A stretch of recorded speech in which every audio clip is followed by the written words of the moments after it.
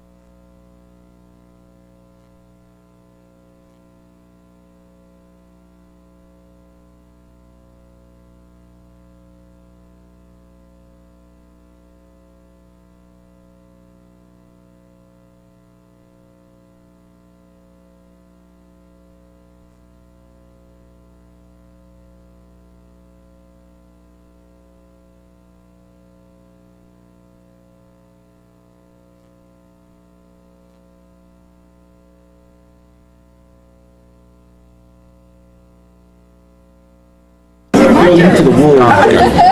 Okay, yeah, this is order. scary that I still know what the order is. Why it's well done. Tell you what, I was glad to get Saturday out the way with. Good evening. I call this meeting of the Carrollton Farmers Branch ISD Board of Trustees to order, and we're a little slow tonight. Guess summer's hitting in. It's 7:05 PM on June 7th, 2012. Please join me in standing as Ms. Chaffin leads the board's opening prayer. Please bow with me. Our dear most gracious Heavenly Father, we thank you for the opportunity to come here tonight to meet together in the service of this district. We thank you for the completion of another school year, and we thank you for all of our teachers and our administrators and our students who have worked so hard this year. We ask that you give them rest and relaxation and fun and learning opportunities over the summer so that they'll be ready to come back in the fall. We thank you, dear Heavenly Father, for giving us the opportunity to live in this community, in this district, and in this state and this nation. We realize how blessed we are. We ask now, dear Heavenly Father, for your guidance and your wisdom as we deliberate the decisions and the business of this district. Give us courage to do what is the right thing to do for this district, for our students, and our teachers, our families, and our, our, our businesses. These things we ask in your holy name. Amen. Amen. Please remain standing as Mr. Fleming leads the board in the Pledge of Allegiance. I pledge allegiance to the flag of the United States of America and to the republic for which it stands, one nation, under God, indivisible, with liberty and justice for all. Please be seated. As a district, we dedicate all our efforts and resources to the education and preparation of all students. The board uses this mission to guide all deliberations, decisions, and actions. You'll get to see all of our deliberations, decisions, and actions in open session, with the exception of some items which may be discussed in a closed session as stipulated in the Texas Government Code, Section 551, commonly known as the Open Meetings Law. For the record, our board is here tonight, except for Mr. Good and Ms. Webb, and we do still constitute a quorum and can conduct business on behalf of the district.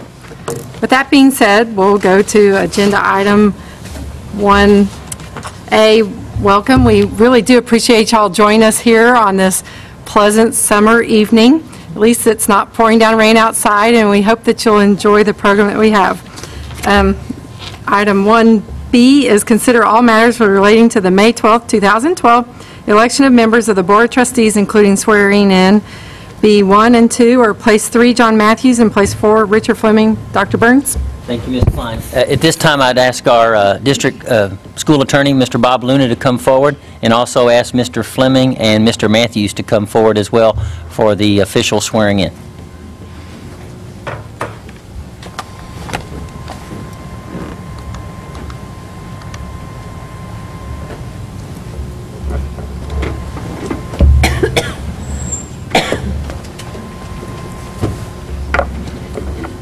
After the elections are held and the votes are counted, uh, the winners are declared. Uh, But the Constitution of the State of Texas requires that before the winners can take their positions of authority, that one more step be completed. The Constitution has a formal oath of office uh, that is required to be taken, and therefore, uh, that's what we're about to to do now. Uh, Both uh, you gentlemen, Mr. Fleming, Mr. Matthews, would you each raise your right hands, repeat after me, and when I say my name, please substitute yours.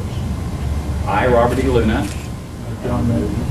do solemnly swear that I will faithfully execute the duties of the office of School Board Trustee for the Carrollton Farmers Branch Independent School District of the state of Texas and will, And will, to the best of my ability, best of my ability, preserve, protect, and defend preserve, protect, and defend. the Constitution and laws Constitution and laws of the United States of the United States and of this state, and of this state, so help me God. so help me God. Congratulations.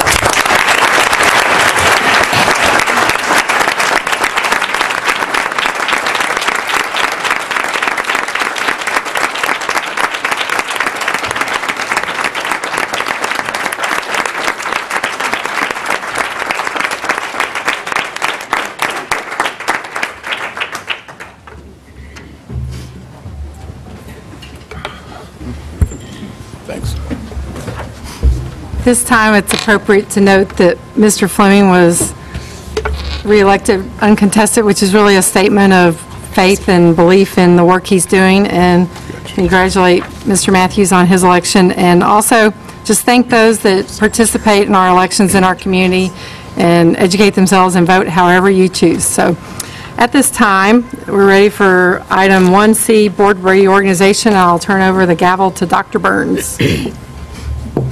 Thank you, Ms. Klein. The one time I get to bang the gavel here. Or reorganization of the board, um, we will take, now take from the floor of the board members nominations for president of the Board of Trustees. Are there any nominations? Mr. Shore? Nominate Nancy Klein for President of the Board of Trustees. Under Robert's Rules of Order, no second is required for nominations. Are there any other nominations for the officer of Board President, for the office of Board President? We call this wait time in our...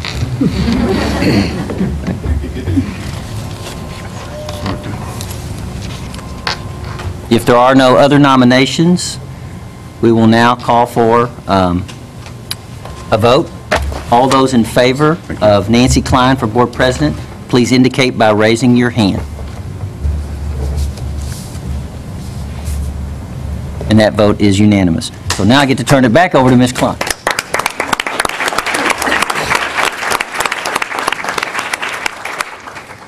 Thank you, Dr. Burns, and thank you, board members. I appreciate the trust you give in electing me president. Um, At this time, I open the floor for nominations to the position of Vice President of the Board of Trustees. Okay, Ms. Watton?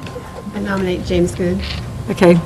Um, Under Robert's Rules of Order, no second is required for nominations. Are there any other nominations for Board Vice President from the floor?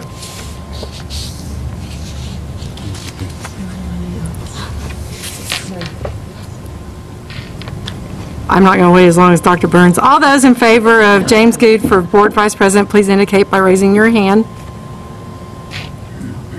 That is six votes for Mr. Good in favor, and um, that would be unanimous. Um, I now open the floor for nominations to the board- position of Board Secretary. Mr. Shore. Richard Fleming. Under Robert's Rules of Order, no second is required for nominations. Are there any other nominations for Board Secretary from the floor?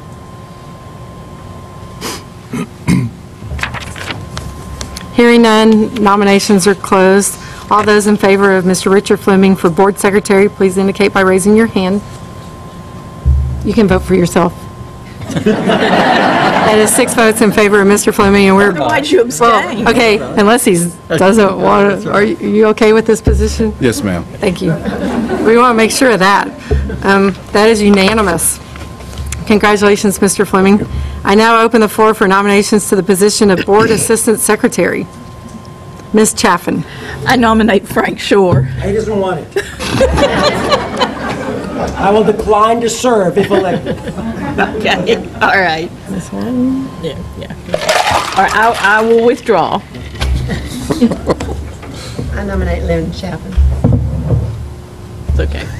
That's okay? It's okay. Okay, Ms. Chaffin is willing to do it, or, okay, so, under Robert's Rules of Order, no second is required for nominations. Are there any other nominations for Board Assistant Secretary from the floor? Okay. Um, All those in favor of Ms. Lynn Chaffin for Board Assistant Secretary, please indicate by raising your hand. Uh, Six votes in favor. Congratulations, Ms. Chaffin. We appreciate it. On the night, on, on the good side, Mark, you don't have to change anything. I was excited about that time. And I think that leaves us done with that item, Correct. if I have done it procedurally correctly. So um, at this time, this brings us to item 1D, review, update, reaffirm board standards of professional practice. This is going to, might take us a while, so we're going to move this item to later in the agenda after a nice convenient break. So those of you that don't want to hear us deliberate and debate what the board is supposed to be doing, you're welcome to leave before we get to this item. But if you are interested, or if you ever want to be a board member, please stay and listen. So at this time, I'd like to move to item 1E, recognition of special guests and announcements. Dr. Burns? Thank you, Ms. Klein. Uh, We'll start with uh, one tonight. Uh, Ms. Webb was unable to be here, but as always, we believe serving on the board is the ultimate uh, volunteer. You give a lot of hours, uh, a lot of commitment to serve our students, and they get no compensation for this, okay? And so uh, we want to take a minute and, and although in her absence, recognize her service and and give her a hand. So if you please join me.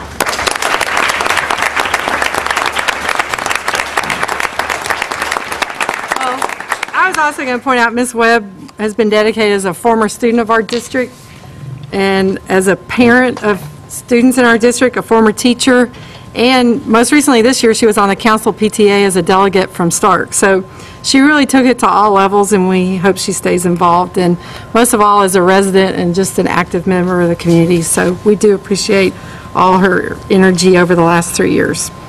Item E2 is recognition of Making the Vision Possible Award recipients. Thank you, Ms. Klein. You know, uh, as most of you know, you've attended our board meetings, uh, we have a VIP program that recognizes our teachers. Um, And our teachers are the heart of of this district. But we have a backbone structure, uh, a group of employees, auxiliary, paraprofessional, and non-campus-based support professional team members that help make the vision possible. And tonight, we honor those employees through our program, MVP, or Making the Vision Possible. The MVP award recognizes these employees for making that vision possible and that their, and their support of our classroom teachers so our students can achieve at the highest level. Employees are nominated by fellow employees for exhibiting leadership, innovation, service, cooperation, and teamwork. And tonight, we are honored to recognize those employees for all of the above and their dedication to this district.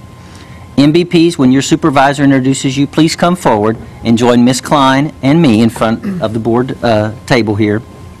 And if there are staff members, friends, family here tonight to celebrate this recognition, please stand as your MVP is introduced. And now, Ms. Klein, if you'll join me in the front, we'll begin our recognition of our honored guests.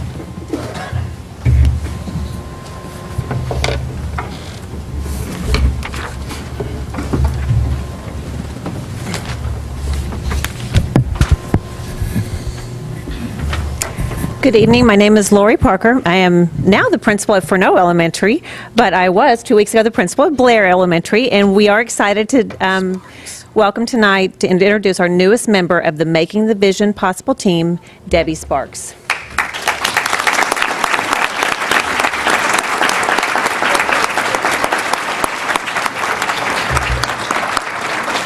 Debbie has served as the clerk at Montgomery and Blair for four years. Before joining the Montgomery, Montgomery Blair team, she was a very active PTA parent at Montgomery, Vivian Field, and Turner. Debbie is the very kind and helpful voice you hear on the phone when you call Blair. She is always friendly, efficient, and very conscientious. Two staff members shared with me their admiration for Debbie. She is extraordinarily kind to every person she encounters. She is so welcoming to every family who enrolls at Blair. I'm sure they have no worries about leaving their child in a new school.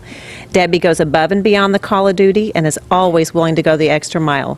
Going the extra mile even includes returning to Blair in the evening to teach my six-year-old daughter how to knit.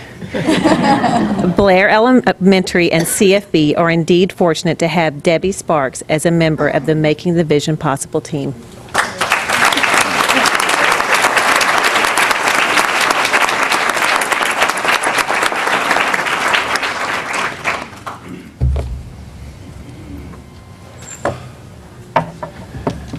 Good evening, Dr. Burns, President Klein, Board of Trustees. I'm Les Black, principal at Charles M. Blalack Middle School. Tonight, I'm distinctly honored to introduce to you Blalack's MVP, Ms. Paula Arrington.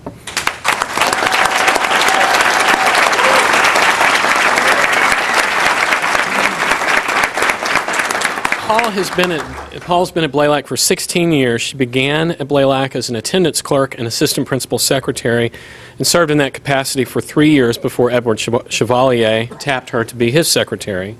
Paula then served five years as Edward's secretary, followed by eight years as my right hand. I think you would be hard pressed to find any person at Blalack who is as universally well liked and respected as Paula. She comes to work every day with a positive attitude and an infectious sense of humor. She has a tireless work ethic and produces only the highest quality work.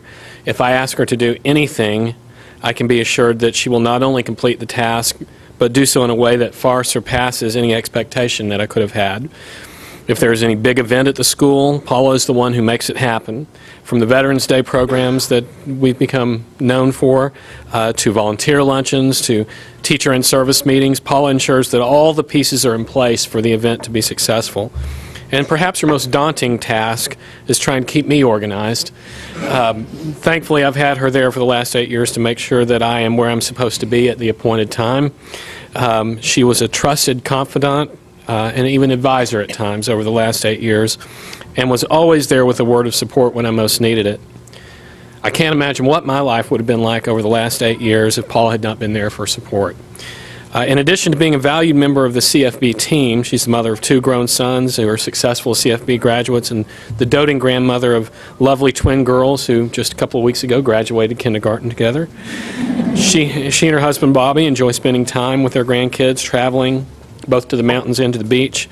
And working alongside with Paul is one of the things that I'll miss the most about being at Blalack. Um, thankfully, she will continue to be part of the Blalack community, building upon the legacy of excellence and uh, breaking in another principle. Uh, Paula, thank you for not only being our MVP, but for all that you've done to help make these eight years so fantastic. Ladies and gentlemen, Paula Arrington.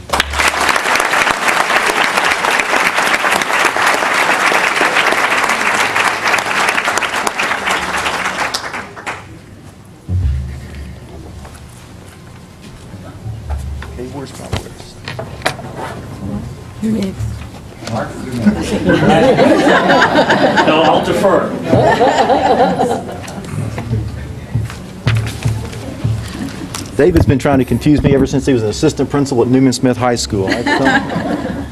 Uh, ladies and gentlemen, it is my distinct honor and privilege tonight to present Miss Debbie Grindell as an MVP for the Carrollton Farmers Branch Independent School District.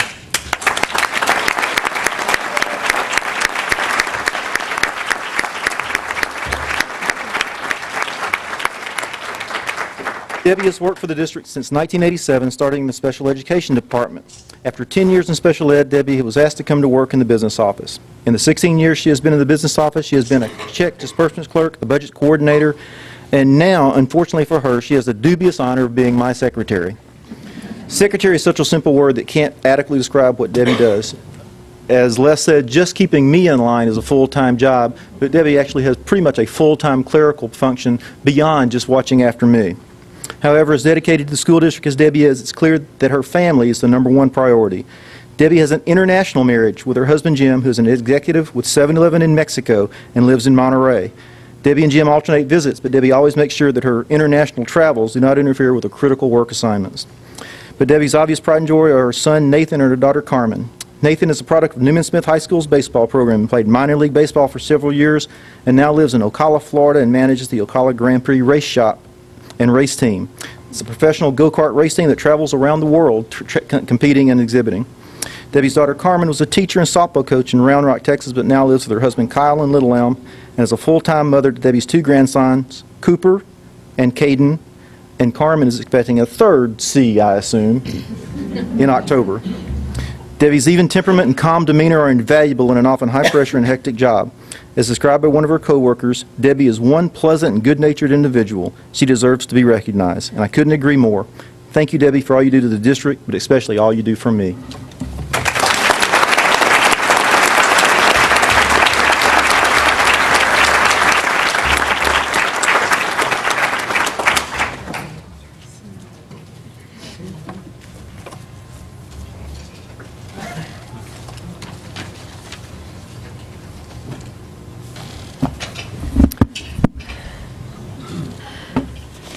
Dr. Burns, Mrs. Klein, it is my privilege to introduce Jeannie D'Amico as a member of the MVP Club.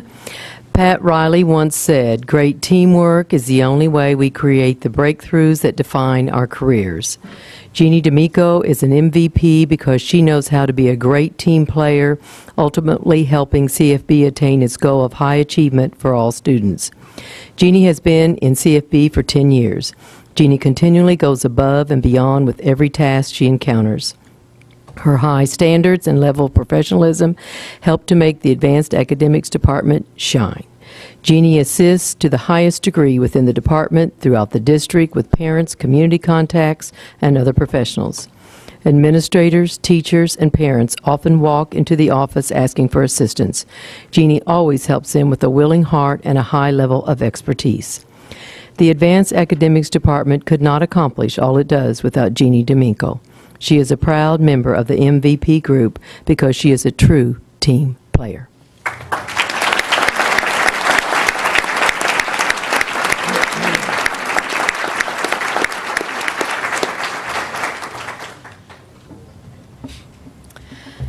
Patty Parker.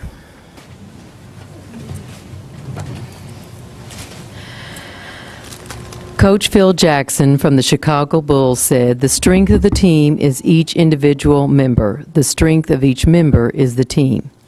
Patty Parker exemplifies a strong team player. She has just completed her 10th year in Carrollton Farmers Branch ISD and her 7th year in advanced academics. Patty has a wealth of knowledge in the research, data, programs, and services for our students. Her passion and genuine willingness to share with students, teachers, and administrators make her a strong asset for our district. She has helped guide many parents, students, and staff to develop a plan for student success, especially with college readiness. She is respected for her judgment. Each task she completes is done with the highest quality. Patty's kind manner and expertise are invaluable to our district. Patty Parker makes a difference in CFB, and that is why she is an MVP for us, making the vision possible.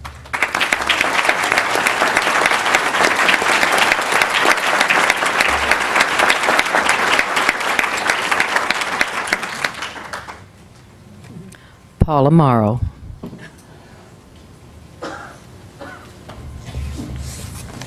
Paula Morrow exemplifies the essence of an MVP. She tirelessly gives herself. Okay. Okay. Gives herself, helping everyone around her in any way she can. Paula is always eager to assist a colleague on any project. She is extremely knowledgeable about technology. She produces the highest quality of work, and she possesses a work ethic that is impressive by any standard. Paula can do anything, and I mean anything. Everyone loves Paula because she has the wonderful mix of a caring heart, a positive, upbeat spirit, and a true desire to help people. Paula sets a high standard in the way she lives her life and how she treats others. She has just completed a four year rigorous Bible course at the University of Dallas and is now signed up for a prayer class. She needs that prayer class, being my secretary and all. Paula plans to be a spiritual advisor. Paula is an incredibly important member of the Educational Services team. Paula has two sons, Jason and Ben, husband Denny, and her precious granddaughter Carson, who I believe is here tonight with a pretty blue bow in her hair. Paula has worked in the special education department, staff development, and educational services. Everyone seeks Paula's advice, and she always gives wise counsel. Paula has served CFB for 27 years, and she will retire at the end of June. Thank you.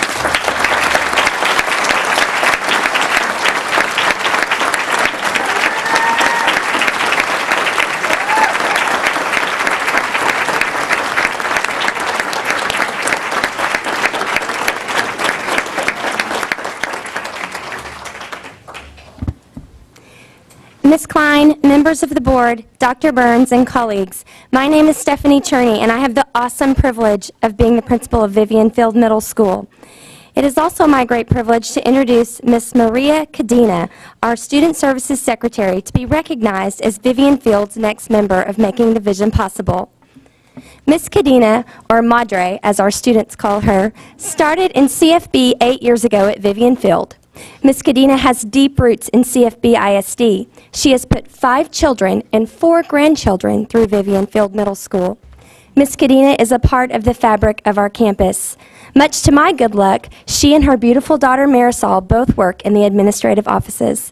Ms. Cadena has been happily married to Martin for 32 years tomorrow. I tell you about her family because this is not the extent. Maria considers every Viking with the same priority as her own children. She is their mom at school and will do anything for her kids, and they think of her as a second mother. She accepts no excuses from our kids, only results. The campus knows the ends of the earth in which she will go to make sure that our students have access to the American dream through their promotion to high school and their goal of a diploma. She is an influencer with our students and community in every way. Today, her visibility and impact on our school have gained her respect amongst the staff. One of the staff members shared, her sense of family, commitment, compassion, and empathy that she instills at home is transferred directly to her work.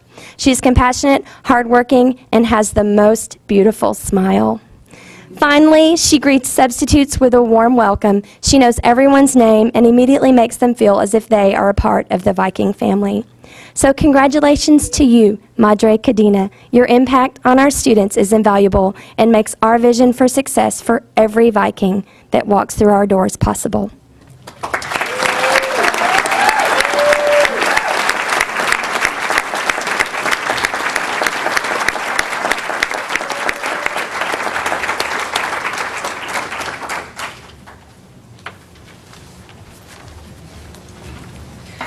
Good evening, Ms. Klein, Dr. Burns, and members of the board. I'm Brooke Purcelli, and I serve as the manager of the DeWitt Perry Middle School team. It is my pleasure to introduce our MVP, Ricardo Montanera. Ricardo joined the Bigs just this year, serving as a special education aide in our past class. Ricardo's rookie card lists the following stats. He came up through our farm system, attending Central Elementary, DeWitt Perry, and graduating from R.L. Turner High School. He also has a bachelor's degree in music education from Baylor University. Ricardo's teammates say Ricardo is a valued member of our special education team at Perry. He goes above and beyond his duties, and he does so with no complaints and a smile on his face. He works with students who can be very challenging, but he shows his students fairness and consistency, even in their most difficult moments. He demonstrates his knowledge and, and knowledge of and compassion for his job daily through his work with our special needs students. We are very lucky to have Ricardo as a part of our team. Ricardo is a manager's dream, and I have no plans to trade him. He brings his A game every day and hits a homer each at bat. If CFB had an all star team, he'd be our leading vote getter. That's why Ricardo Montanera is Perry's newest MVP.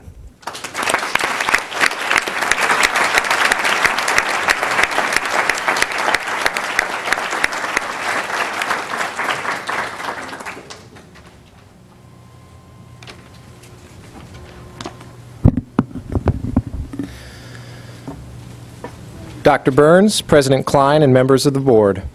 My name is Jason Lewer, and I'm here tonight as the Assistant Director of Personnel to introduce the newest member of Making the Vision Possible, Dee Canada.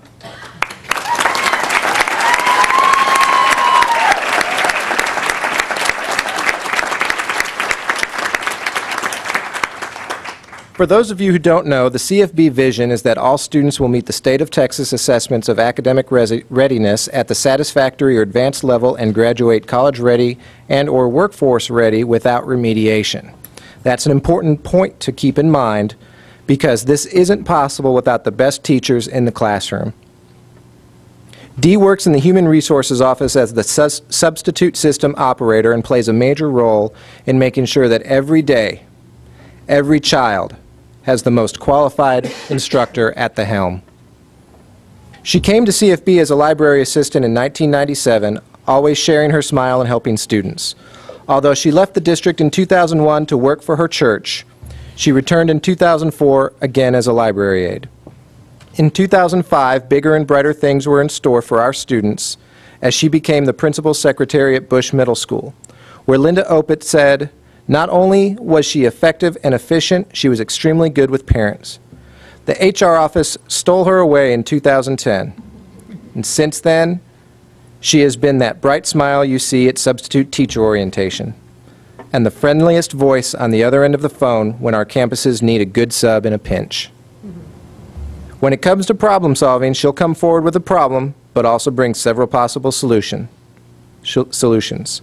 She's a good communicator and has a very generous spirit. She's always the person who got it all done and always shares all the credit. Well, tonight she gets the credit. Our MVP, Dee Canada.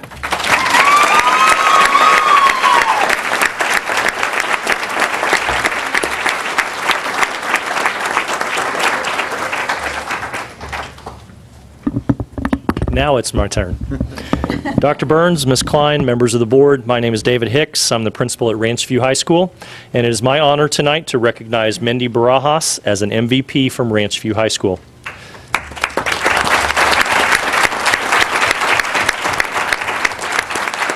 Mindy joined our team six years ago as our record secretary. She is deserving of recognition this evening because she brings a high level of self-direction, quality, and attention to detail to everything that she does. And she does it all with a great attitude and a friendly smile. Mindy's role in our school is multifaceted. She works with students, updating and checking the accuracy of their school records, with teachers, checking and verifying their academic reports, with our counselors, inputting class schedules and preparing transcripts, and with new families, warmly welcoming and making them feel part of our school family immediately. She deserves the greatest accolades, however, for her role on our graduation team. She's a leading member of this critically important group, and as such, she is responsible for following up with students who leave our school. I'm proud to report that due to her leadership, Ranchview can account currently for all of our withdrawn students with 100% positive leaver codes. And y'all, this is no small feat, as we all know. It takes diligence, persistence, and even a little bit of investigative know-how to find some of our students who have moved away. She's our own Perry Mason. She gives and gives because she cares, and she understands how important it is for our kids to successfully complete high school. When I asked students what makes Mindy such a great staff member, they commented that she is patient and helpful, and they know that if they ask, she'll do anything for them. And I mean anything. Two years ago, students approached her about starting a club, and the Ranchview bowling team was born. and when she started with us, she didn't expect to be the bowling coach, did you? Nope. Mindy, all of us thank you for being a colleague and a friend we can count on and for sharing your radiant smile, your positive mindset, and optimistic spirit with everyone you meet. Congratulations on your selection as a CFB and Ranchview High School MVP.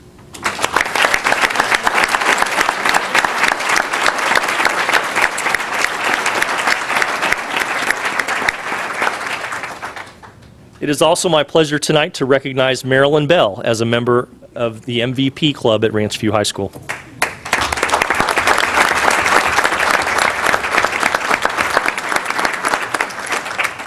Marilyn joined the CFB team in 1992 and has worked at Las Colinas Elementary, Barbara Bush Middle School, and most importantly, Ranchview.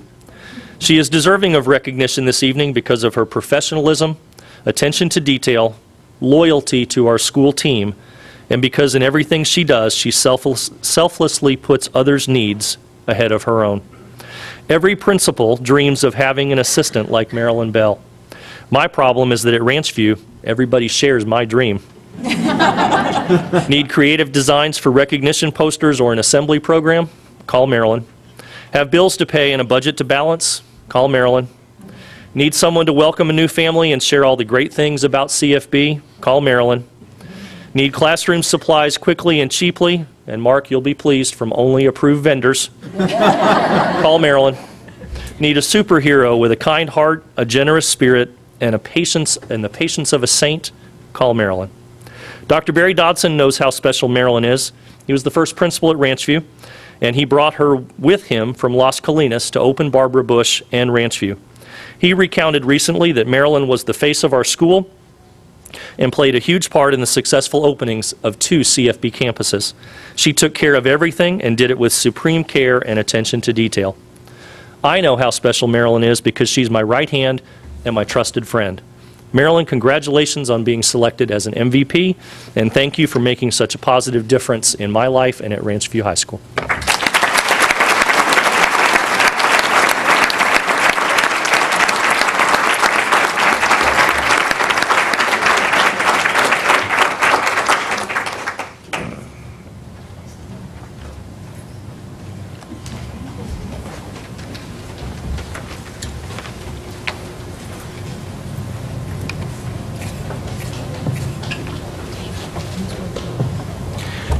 Ms. Klein, Dr. Burns, board members, it is often said that a truly gifted player is the contestant who can make the most difficult plays look routine.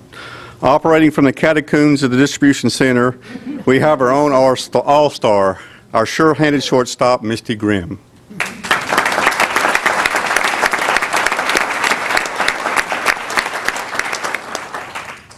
Misty makes sure that whether it's a work order, delivery, or the receipt of goods, that nothing gets through the gap. She fields calls and directs team members log- logistically to keep the district supply line intact. Jack Good, Misty's supervisor, had these comments. Misty is extremely effective in the execution of her duties, resulting in good quality work being produced.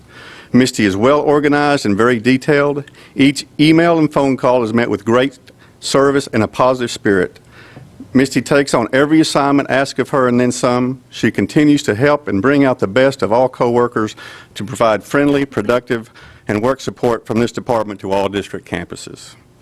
Not only does she demonstrate and possess these good qualities for the district, Misty is also an excellent cook and baker, and in her seven years of employment, she has never failed in baking homemade, yummy birthday cakes for her coworkers. January 31st, okay? Again, Misty seems to enjoy her job and keeping work fun for herself and others. Her attitude is superb, and she is trustworthy of all department information. As work assignments continue to mount due to retirements and attrition, Jack can, can count on Miss Grimm's willingness to help achieve and complete departmental service goals. She is indeed an asset and to the departmental team and to CFB.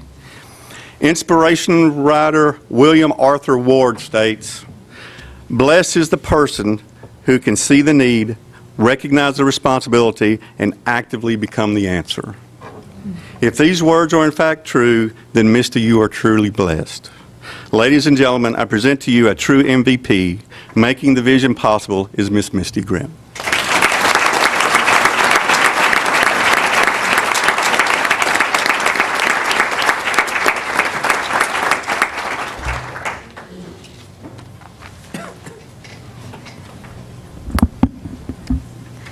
Dr. Burns, Ms. Klein, members of the board, my name is Dee Dee Lacey, and I'm the principal of McLaughlin Strickland. I am pleased tonight to present to you our newest MVP, Mr. Paul Wilson.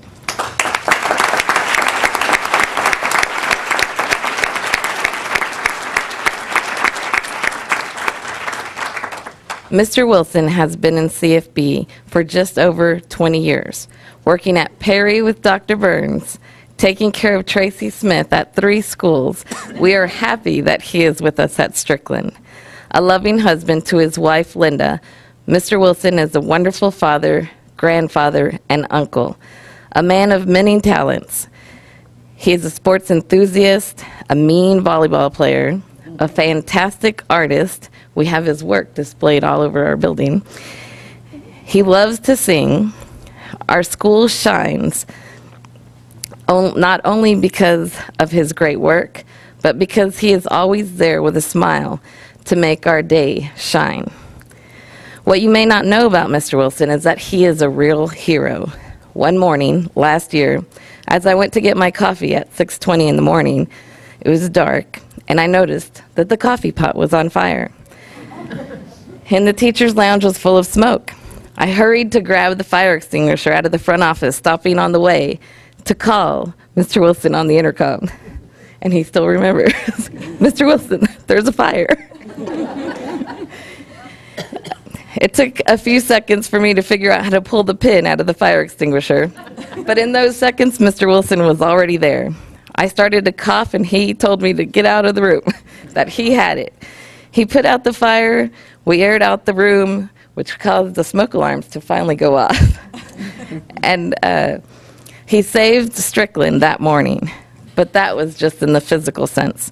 Mr. Wilson is a hero in other ways, as well as um, he encourages our students, teachers, and he encourages me on a daily basis. He pushes us all to follow our dreams. He has the kindest heart of anyone I know. He is always there um, for his real family and his school family. One day in the pouring rain, he jerry rigged a contraption to make a gas can and a funnel for one of our teachers who had run out of gas just outside the building.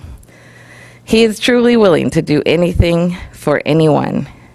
I knew he liked to sing, but last Friday at our farewell breakfast, I noticed I had never seen him in action.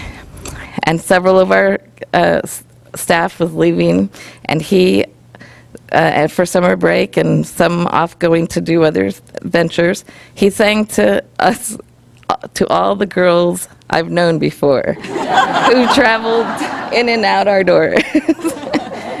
we just hope there's no message there that you're leaving us because we need you. um, so I will end tonight with a modified phrase to the song Hero by Mariah Carey. So when we feel that hope is gone, we look at you, Mr. Wilson, and we are strong. And we finally see the truth that our hero lies in you. It is for these reasons that Mr. Wilson continuously makes the vision possible for all of us.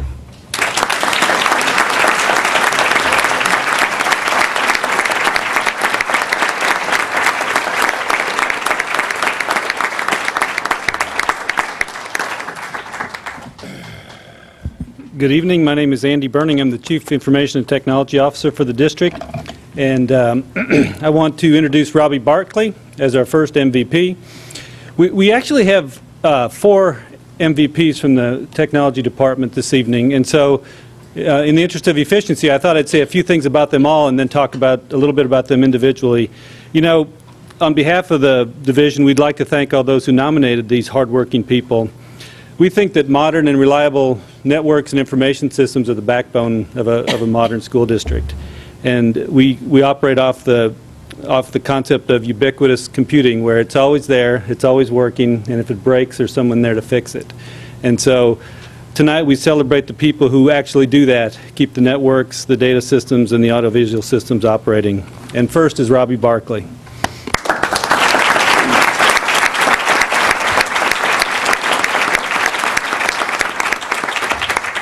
If you've noticed new projectors and multimedia equipment in the district, it's because of the leadership of Robbie. She's an audiovisual specialist and computer technician. If she seems nervous this evening, it's not because of the MVP. She just knows how old the electronics are in this boardroom. oh, no, poor. Uh, Robbie is joined by her husband, Daryl Barkley, uh, controller for Shamrock Precision here in Farmers Branch, and her son, Blake. Robbie has lived in Carrollton for 32 years. She and Daryl have raised two children that attended schools in CFB. Uh, both Blair, both and both their children, Blair and Blake, are National Merit Scholars. Robbie has worked for CFB since 1998, starting at Blalack, transferred to McLaughlin and Country Place, and then Library Media and moved to the Technology Center in 2004. Her current position is AV Technology and uh, Computer Technician. Robbie's active in her church, enjoys gardening, reading, and spending time with her family. A thread that runs through Robbie's work is service. She works in a service organization that, that makes sure the big lever of technology is supporting high achievement for all students. Thank you, Robbie, for your service.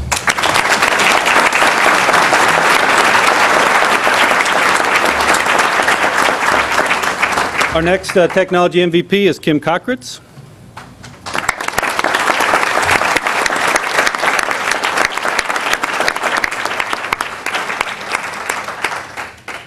Kim works on the district service desk, also known as the help desk, that quietly and efficiently takes hundreds of calls per day.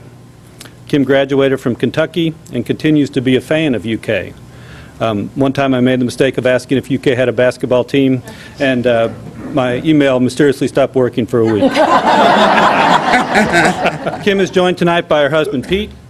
Kim actually started as a volunteer in CFB while staying home to raise their children. She has been active on several boards, including the PTA president for Carrollton, Perry, and and RLT. She started as an employee in McLaughlin as an attendance clerk, then through various campuses to the records office at R.L. Turner.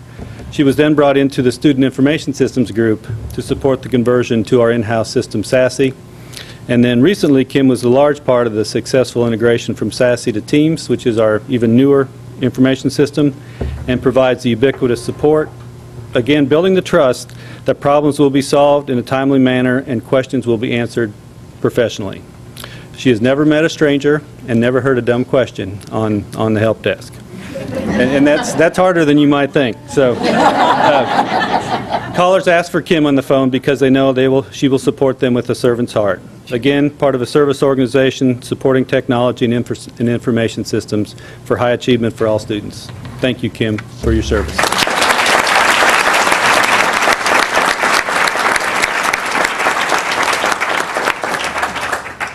Our next technology MVP is Aaron Prado.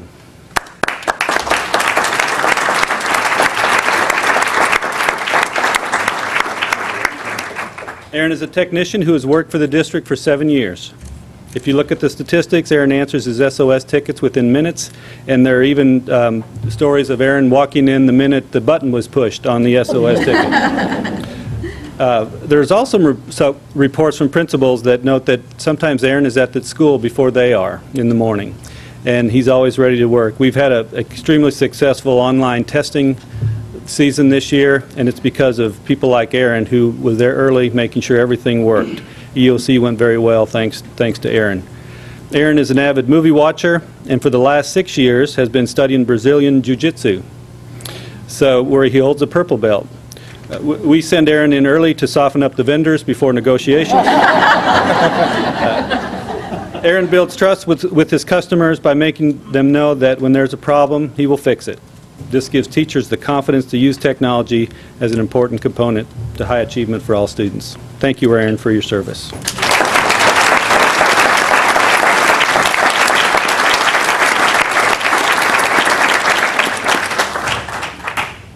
And last but certainly not least, our MVP is Rick Sands, the man behind the glass.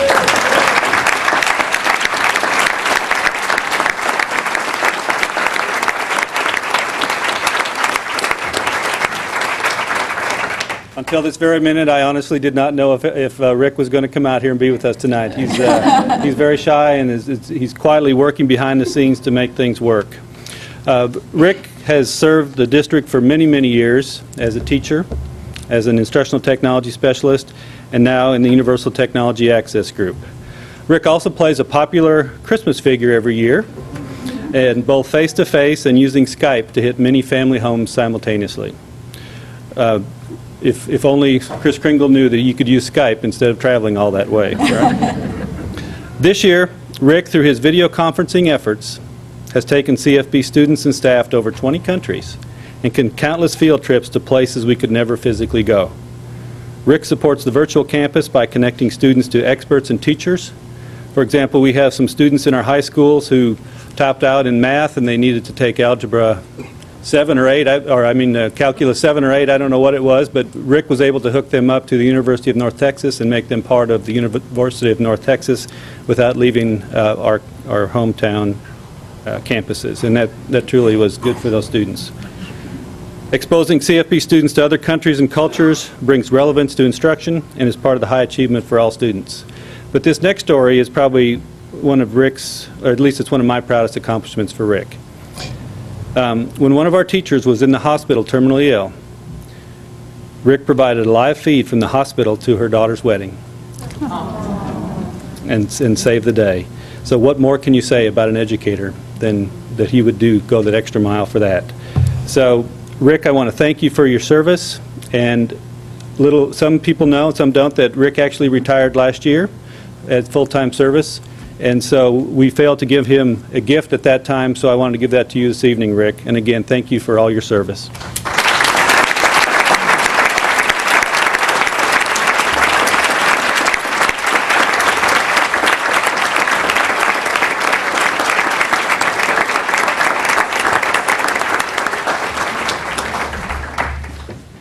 Ms. Klein, members of the board, Dr. Burns, friends and families, my name is Georgianne Warnock. I'm the principal at R.L. Turner High School, and it is my honor to recognize Elizabeth Castaneda as our MVP from R.L. Turner.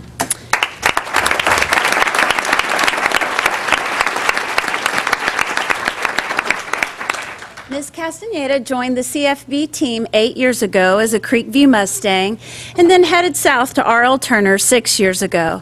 Ms. Castaneda is on the front lines of service in our school, working in our assistant principal's office.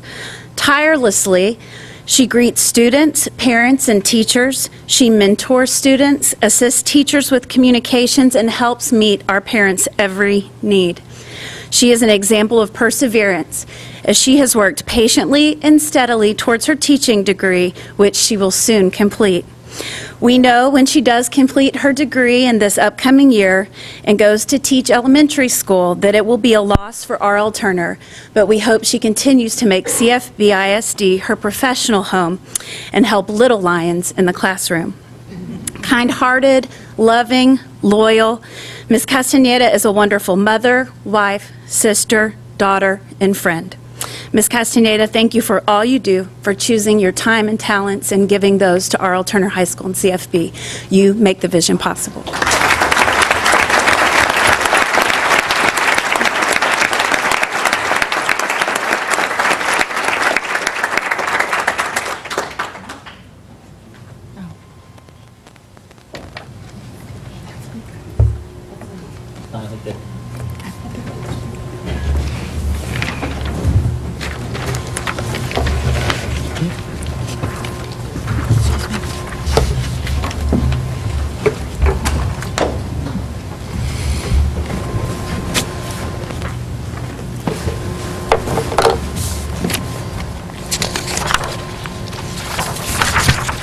Ms. Before you continue, we do have a few announcements tonight, so as soon as Mr. Sands gets back in and gets set up, you know, just because we recognize you don't mean you get the night off.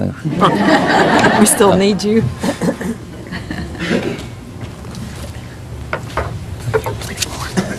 Good evening.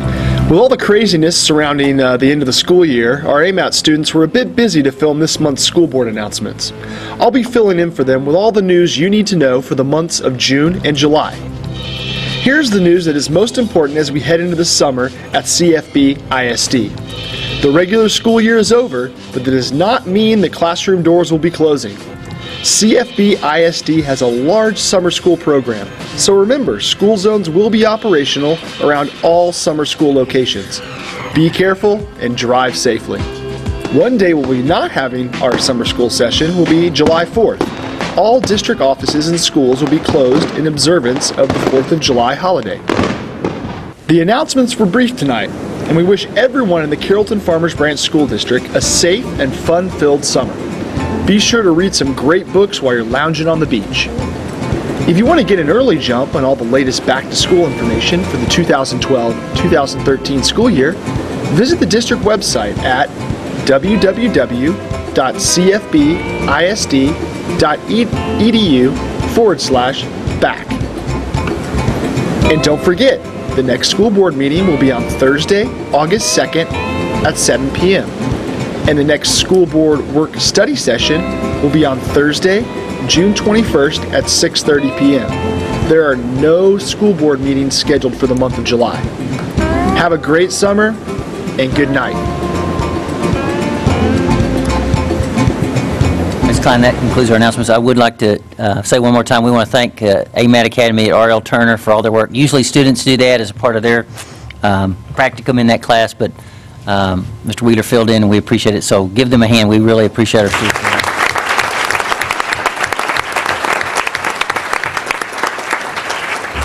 Wanted to thank all of our administrators for introducing us further to our, some of our MVPs, and we really enjoy what y'all bring to help us achieve high achievement for all of our kids, and the contributions you make and the service and love that you share. So thank y'all very much for being part of CFB. At this time, we're rolling straight to report by superintendent because um, we'd like to do 2A, present on student, presentation on student achievement, fine arts. Dr. Burns? Thank you, Ms. Klein. And members of the board, um, as you know, in June, we conclude our uh, student presentations on achievement, achie- uh, on student achievement with our fine arts and athletics programs. So um, it is with great honor tonight that I present to you Mr. Jim McDaniel. Mr. McDaniel, will you come forward?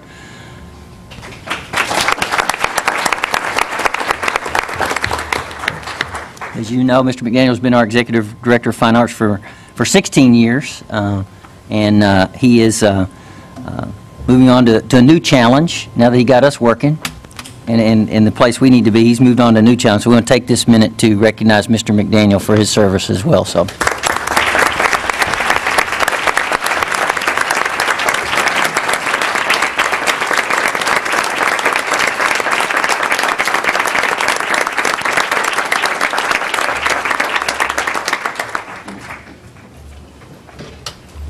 We like to challenge the fine arts people with that, so then they have to go on. That's right? right. They have to go on with the show, so. And Mr. Sands said, I just pushed that button and it'd go away, but it didn't go away. There we go.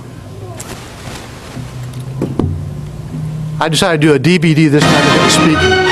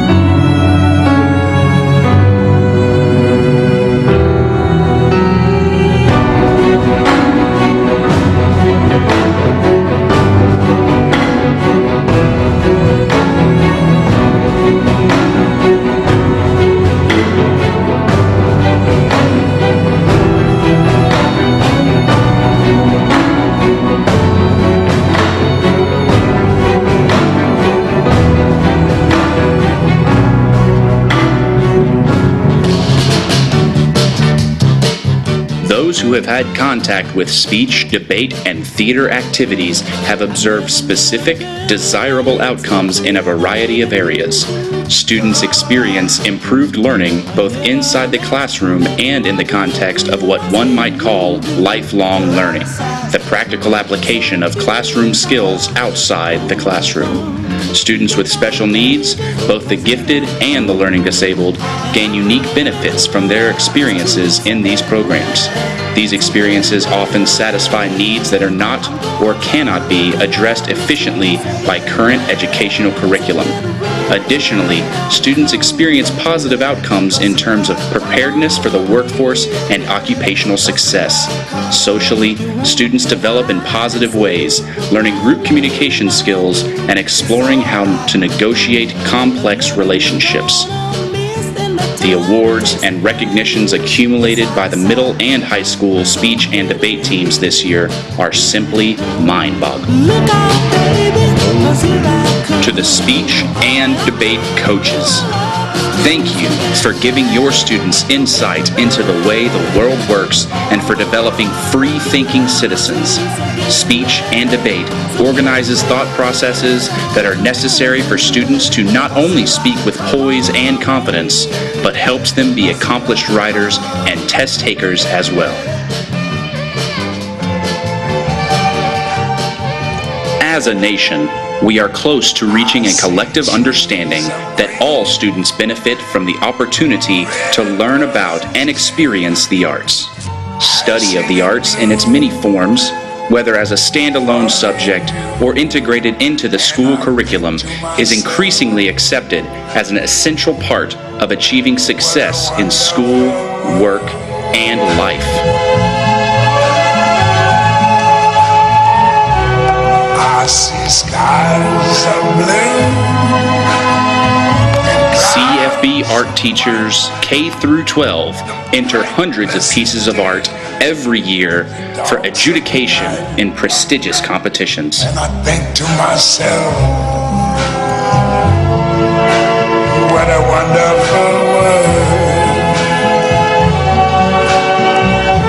Our students participated in and excelled in VASE competition, reflections, CFB Kids Cards, Texas Visual Arts Association, and many other competitions and showings throughout this year. However, all of the awards, ribbons, and trophies would not be possible without the excellent and solid teaching that comes from the classroom.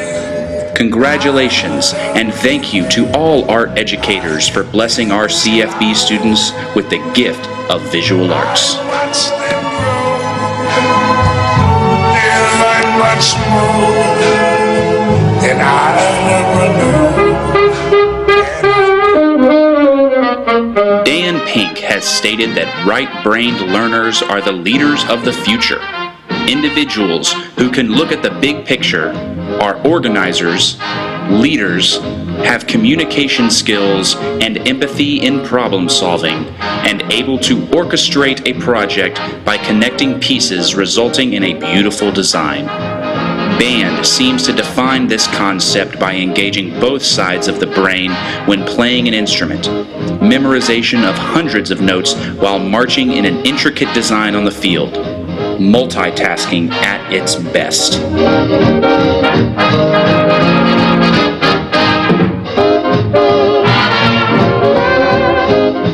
A note of deep gratitude goes to the band directors for their dedication and commitment in challenging students to be our leaders of tomorrow.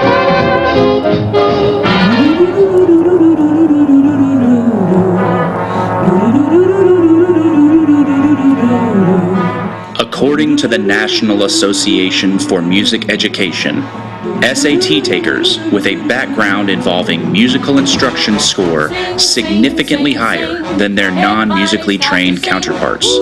A surprising 56 points higher on the verbal portion and 39 points higher on the math portion of the test. Other advocates of choral music instruction also cite numerous non-musical benefits, including the building of greater self-esteem, concentration, and coordination and the longer music instruction lasts, the greater the benefits. Ooh, oh, now you're singing with a swing. Swing, swing, swing, swing. Let's do the trumpet swing. As Henry Wadsworth Longfellow wrote, God sent his singers upon earth with songs of sadness and of mirth, that they might touch the hearts of men and bring them back to heaven again. To the choir directors, thank you for developing each child's personal instrument, for singing comes from deep inside the soul, not just from the vocal cords.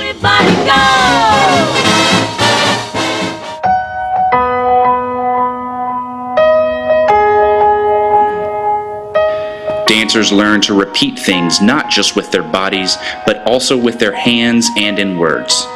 This process of repeating what you just saw or heard until you've committed it to memory is a skill, and it serves dancers in all aspects of life, both inside the studio and out.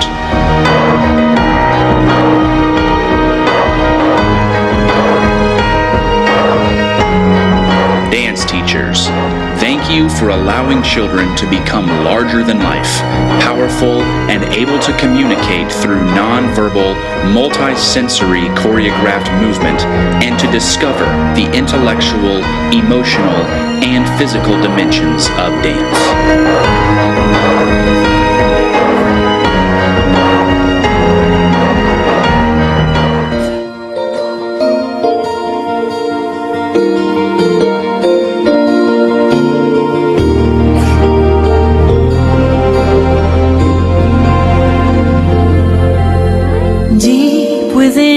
Elementary music teachers, you are the bedrock and foundation of all music programs K through 12. Music is the gift that you give your children that will last a lifetime. Thank you. Strength of just I can't.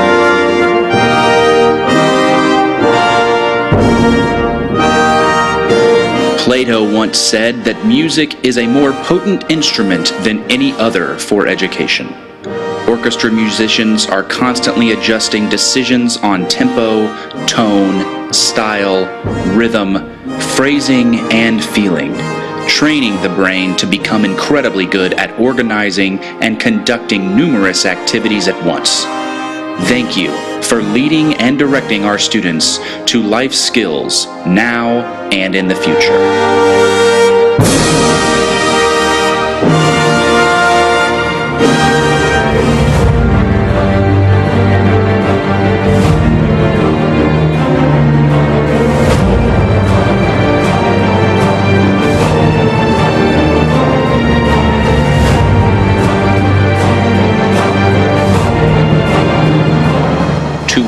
The theater teachers, thank you for empowering students to affect change in their own lives by helping them recognize their potential for success through performance.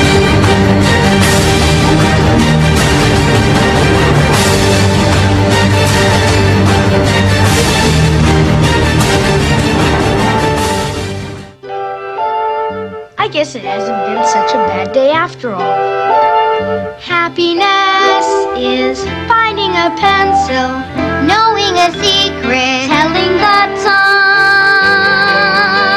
Happiness is learning to whistle, tying your shoe for the very first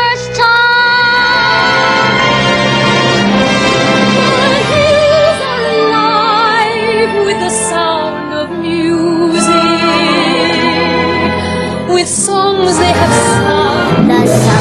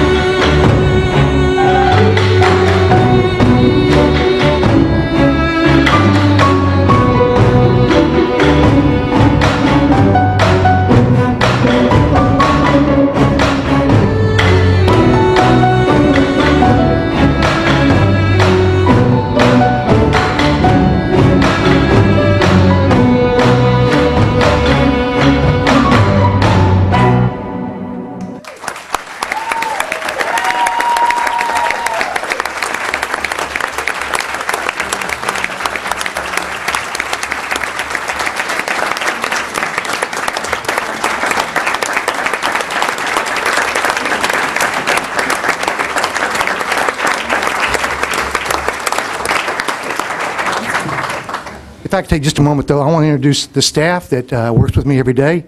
I think I'm like Ms. Mayor and and Mark and everybody that, Dr. Mayor, sorry, uh, that uh, I've been very fortunate. I've been here 16 years, and the- smartest move I ever made, besides my marriage, was uh, having this person and hiring them as a secretary back whenever Dr. Burns was an area director, and we shared people. Uh, And Jeannie Hayden, if you'll stand, she's in the back.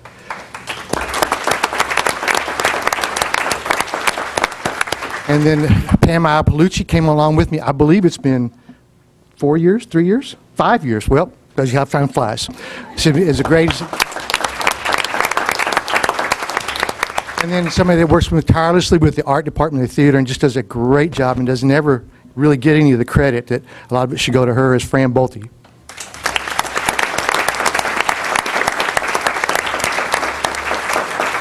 And I thank you for your support. Mr. McDaniel, they, they may want to have a few questions or comments for you, so if you'll just stay there for one second. Okay.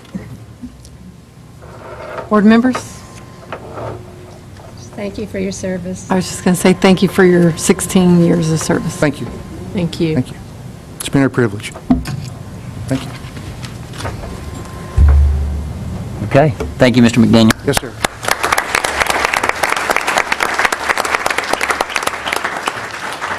Item 2B, presentation on student achievement athletics. All right, Dr. thank you. Ms. Klein. Members of the board, uh, we'll, second half of our presentation is by athletics tonight, so Coach Putter, I know you're out there. If you'll make your way up, while Coach Putter's coming up, I do want to uh, bring it to everyone's attention. I think most of you know, we had a special recognition for all of our uh, artists and and all of our our uh, students that perform in the fine arts, as well as our athletes at R.L. Turner on May 17th, uh, where we recognize just them for their great accomplishments. Uh, It was a huge turnout, uh, a great celebration of all the great work that our kids have done, because the bottom line is, it's about what the kids do. It's about the results that they have, and we're very proud of those results. And so you saw the fine arts results, and now we'll proceed on with the athletics. So I present to you our Director of Athletics, Renee Putter. Coach Putter.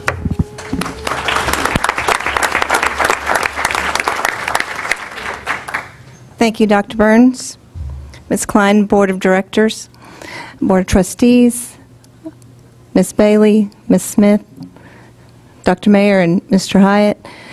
I am proud to present tonight our athletic report. Well, we changed it up a bit, just like fine arts. Um, We add a little comic relief, I think, in our side, so we hope that you enjoy it. Before we roll it, I'd like to recognize my team that's here with me tonight, and that is Angela Taylor and Roberta Porman from my office.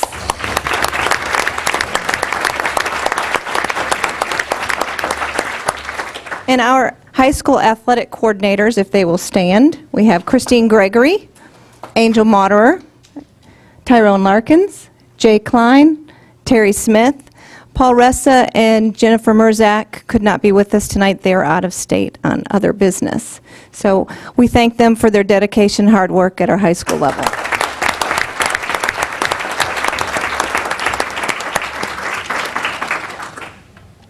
I will tell you one thing is I will not quit my day job after you see this.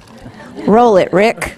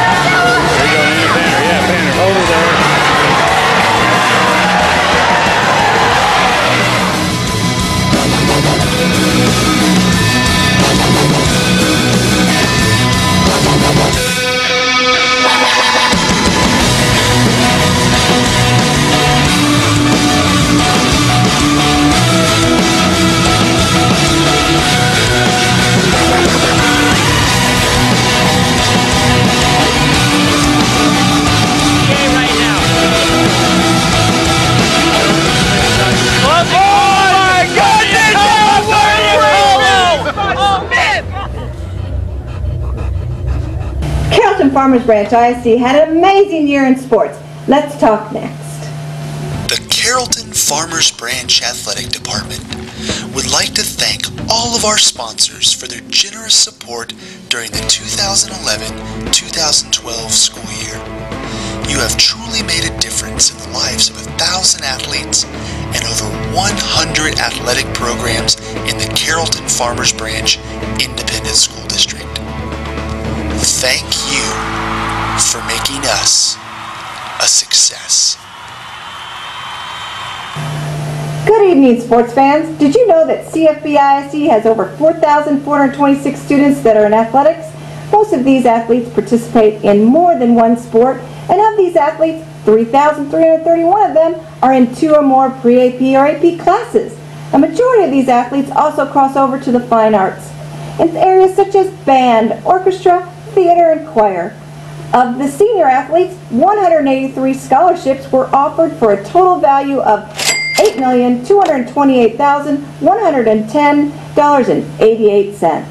CFB ISD really does have exceptional student athletes. Furthermore, did you know that CFB ISD has 194 coaches who coach more than one sport? And this year, 14 head coaches were named Coach of the Year by their peers. That is high achievement for all, and that is another way CFBISD is an innovative leader both on and off the field of play. As I continue with an amazing year in CFB athletics, let's move the focus on to what really matters playoffs, state placers, and state champions. CFBISD athletics had 10 district championship teams, 14 playoff teams, 5 teams advancing to the regionals. Individually, CFB ISD had 163 athletes advancing to regionals in 179 events, including 29 state qualifiers in 26 events with 6 state championships. Here are some outstanding highlights of the 2011-2012 school year. Rancho cross country runner Jaime Nunez had his career best performance at the UIL Region 2 3A Cross Country Championship meet. The Rancho girls cross country team were crowned district champions and qualified for regionals as well. In volleyball action, Creekview Volleyball advanced to the regional quarterfinals before losing out to a tough state finalist, J.J. Pearce. Turning to basketball, Rancho girls and boys basketball teams advanced to the regional quarterfinals. In wrestling, Creekview All-American female wrestler Bobby Navarrete and R.L. Turner All-American female wrestler Christina Machado both placed fifth at the UIL Girls State Wrestling Tournament. Creekview's All-American male wrestler Elijah Cook placed sixth at the UIL State Wrestling Meet. In diving, Newman Smith All-American diver Connor Shackelford placed fifth at the UIL State Diving Meet. In golf, Newman Smith female golfer E.G. Kwan placed fifth at the UIL State Golf Tournament. In powerlifting, Rancho's female powerlifter Destiny Brown Thomas placed ninth at the UIL State Powerlifting Meet. Let's now turn to soccer. Turner's boys soccer advanced to the regional semifinal tournament with the Creekview girls soccer team advancing to the regional final game. In softball action, Ranchview girls softball advanced to the area final round. And Creekview baseball, along with Ranchview baseball, were both by district finalists. As alluded to in Greek mythology, there is a great winged goddess named Nike. She is the goddess of strength, speed, and victory. Female track athletes from Creekview, Newman Smith, and Ranchview summoned the winged goddess as they embarked on their journey from Carrollton to Austin to compete in the UIL State Track and Field Championships. Embodying all the powers of Nike, these female athletes brought victory to their individual schools by bringing home state titles, breaking records, and showcasing victory by the gold medals that are draped around their necks. As they return to CFB not only as athletes, but as state champions. Ranchview's girls 4x100 relay were the 3A state champions. Creekview's Melissa Gonzalez was the 100 meter hurdles 4A state champion and the 300 meter hurdles for 4A state champion. Newman Smith's Courtney Okolo became the 200 meter state champion and the 400 meter three-time state champion and state 400 meter record holder for all levels. Not to mention her record-setting pace landing her in the top seventh best time among NCAA collegiate athletes. For your viewing pleasure, cast your eyes upon Newman Smith's 4x400 relay as they compete against Creekview's 4x4 relay to win gold. And fastest time going in, Lancaster, 347.52. Well, Lancaster also happens to hold the Meet class record record, at the at 340.41. 340.41. Set two years ago, three years, four So I'm going to say they're the early favorite. Lancaster, I believe, is your team leader in 4A as well. The Lancaster men's team warming up right next to us. You know, I'm going to put my money on Carrollton Creekview. All right. Carrollton Creekview, they're sitting there in lane eight. They'll be on the outside there. We are off again. This is the girls 4x400 meter relay class 4A. We have Canyon Randall Crowley, Lancaster, Leander Rouse, Sheldon King, Austin Lake Travis, Manville, Carrollton Creekview, and Carrollton Smith. We can only hope that we get as an exciting of a race as what we just saw. So look out for Lancaster. They will be on the inside of the track in the orange. On the outside, though, running very well. Give it up to Carrollton Smith in the green. Austin Lake Travis, and there.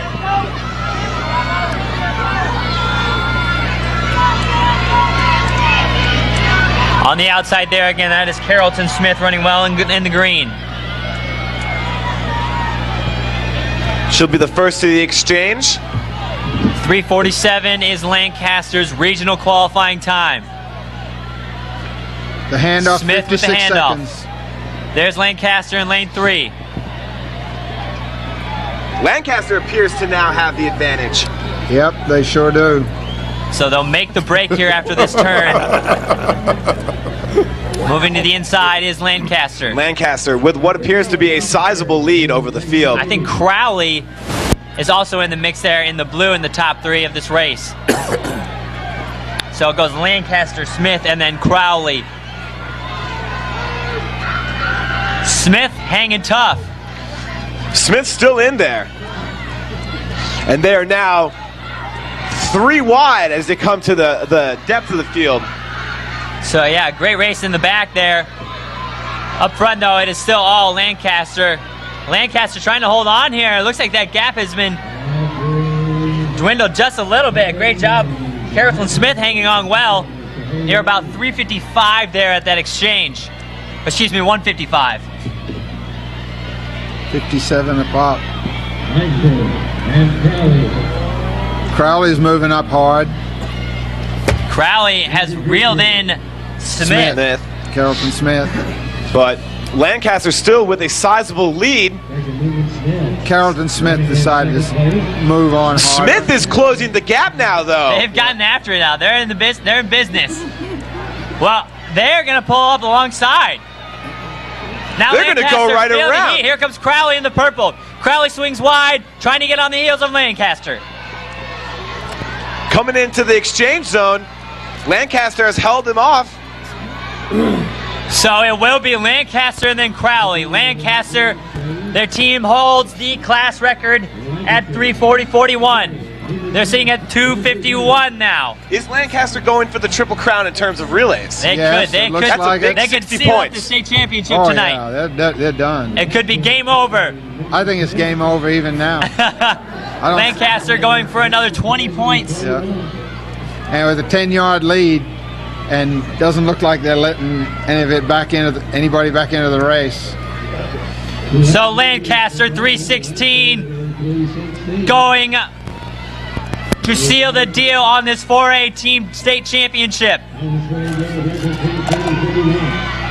On to the home stretch they go. It's still Smith. Crowley Isn't and then Smith. isn't that the 400 meter champion. Yes. Third.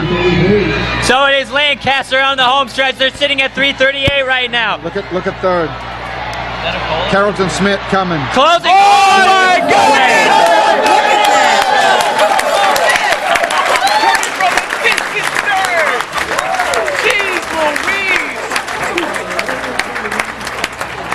Courtney Okolo, everybody. I'm sorry you paid for the whole seat because you only need the edge of it. wow, what a great finish. And that. Wow. 347. Let's, let's watch this again. Not even in the picture. Carrollton What? Smith. It's like a shadow, a lurking shadow. You can see it on the on the On the rail. What a great finish. Oh my goodness. Jeez Louise. That is that is video game fast. That's cheat code fast. It's amazing.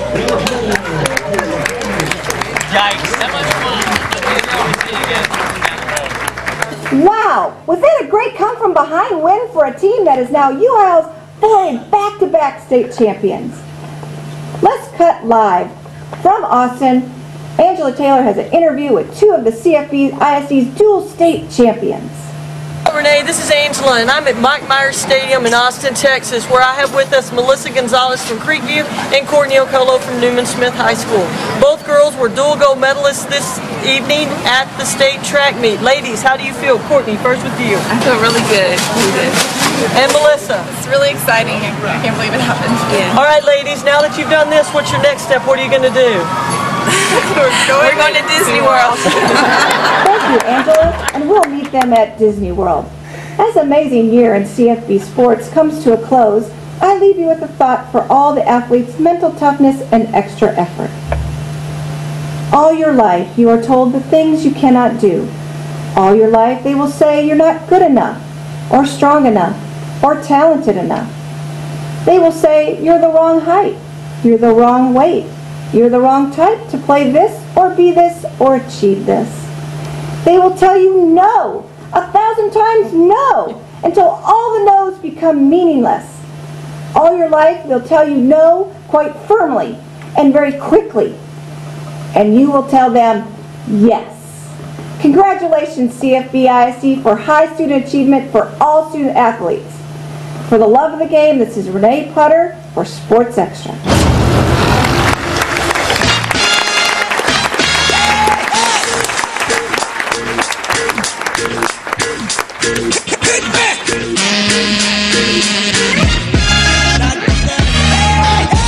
Like to thank Jason Wheeler and AMAT from R.L. Turner to help design that and, and take a hold of that. Really appreciate that.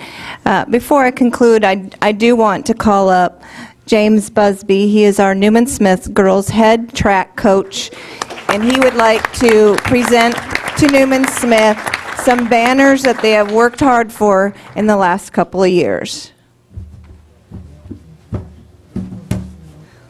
These will be hung proudly at Newman Smith. Oh, wow. That's excellent. Wow.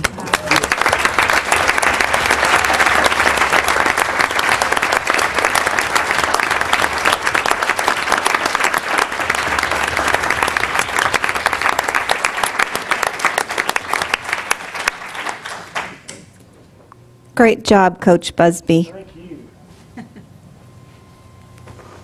And I believe that Courtney Okolo is also competing at the Olympic Well, she- trials. She met a provisional qualification, so what we're waiting on, that means that if she winds up in the top 28 times uh, as of June the 27th, she can go compete. Uh, Right now, she's sitting at 24th, so we're keeping our fingers crossed. Uh, They got the NCAA's uh, tomorrow, the running events tomorrow and Saturday, so we're uh, hoping that they don't, you know, take it too seriously. We want strategic places, not that. And again, we appreciate everyone's support in athletics over this past year. Thank you.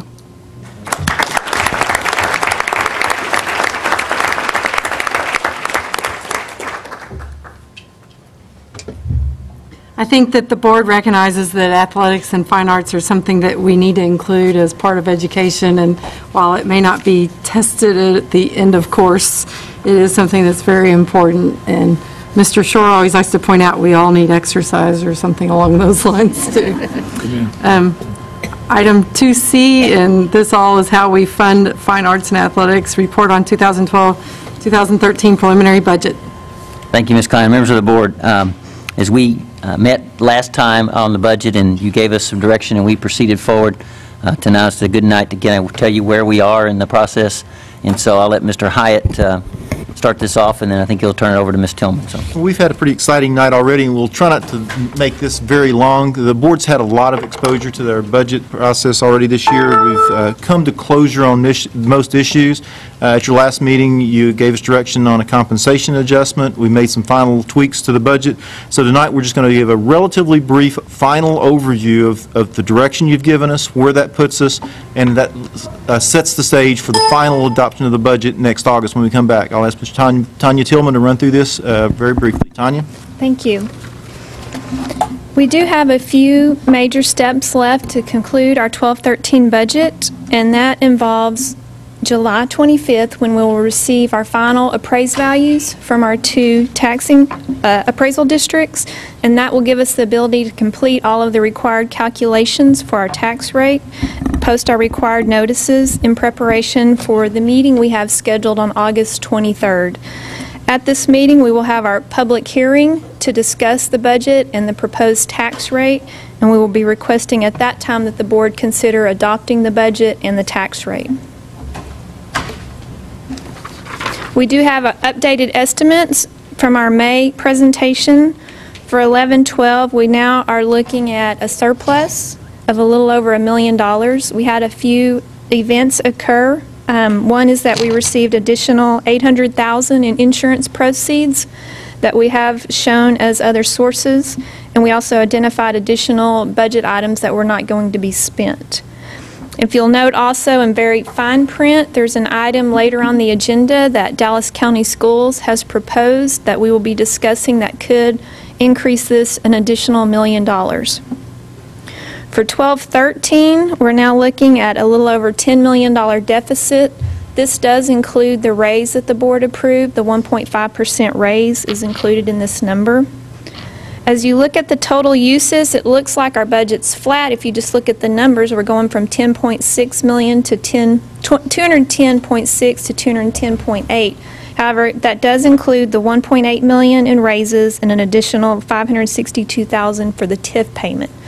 So there, that we actually made reductions that have absorbed the raises that were proposed. In terms of our fund balance and updating the estimates, with the million dollar surplus, that would put us at 137 days at the end of this fiscal year. With the $10 million loss, we would be at 119 August 2013. As we did briefly discuss last month, we wanted to continue updating you on the litigation that's going on at the state level um, because this is critical to the future of public education, and so we will be monitoring this closely. We did receive an update from Thompson and Horton, one of the groups, one of the five groups that have actually filed the lawsuit. Um, There's not been any significant changes in the timeline. Um, The key factors are that right now, it doesn't appear that there would be an overhaul of the system that could occur any earlier than the 2014-15 school year. However, when they go in session 2013, one of the things we're concerned about is that we're still receiving uh, target revenue. We're still on hold harmless. We're not converted to formula yet. So if they do indeed continue to phase out target revenue, we could stand to lose some additional funds in that session.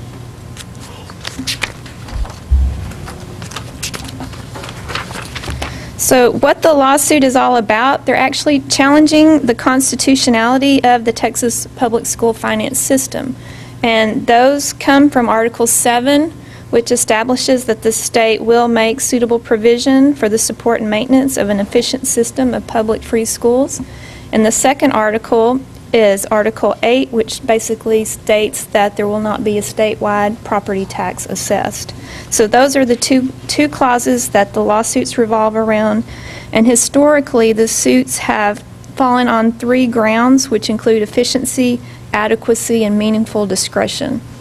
Um, when the attorneys updated us, they said that one of the things they were focused on was the 2005 rulings and what the courts, or the Supreme Court actually, some of the statements that were made in that ruling, um, because there are still a majority of the justices that were on the court at that time are still on board. So they did provide us with language from that ruling, and we've provided that to you as well, just for your information.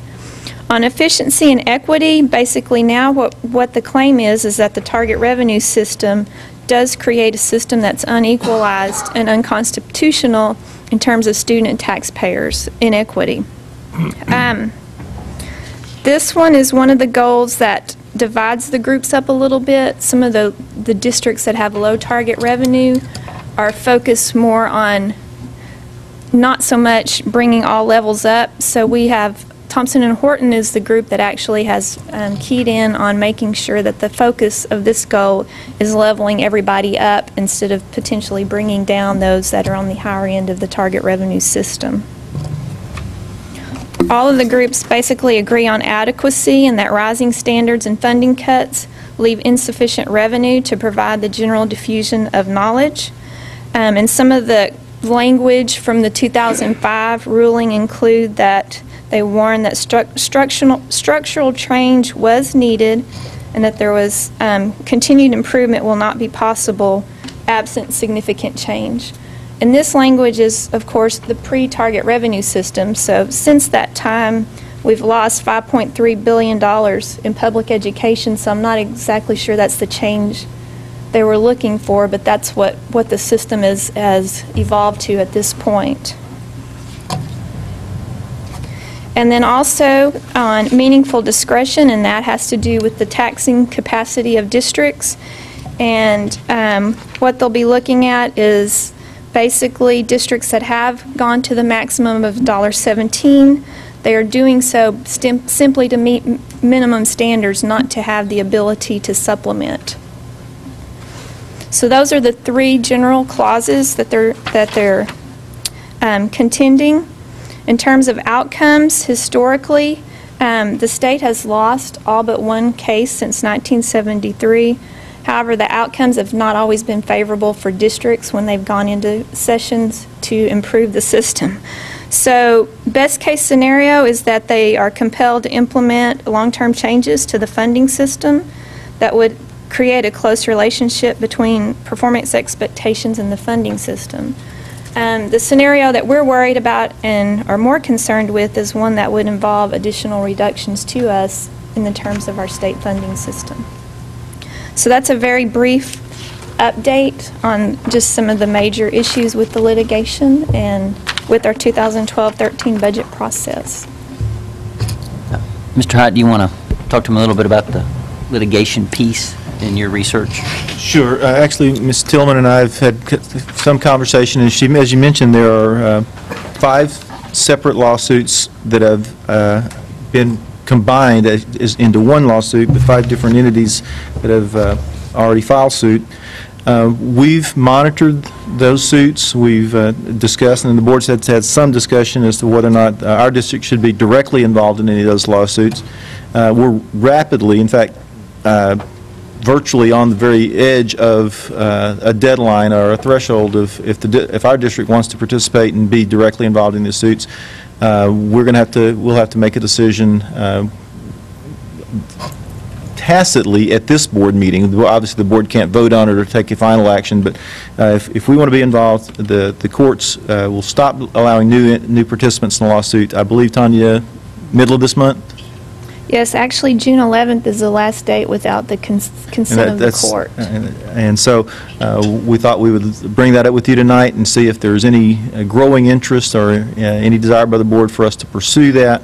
Uh, The the the upside for our district's participation uh, is that it simply adds weight to the litigants. There's, uh, there's some merit in the, the numbers of lawsuits representing the numbers of students in Texas that find the current school finance system uh, intolerable.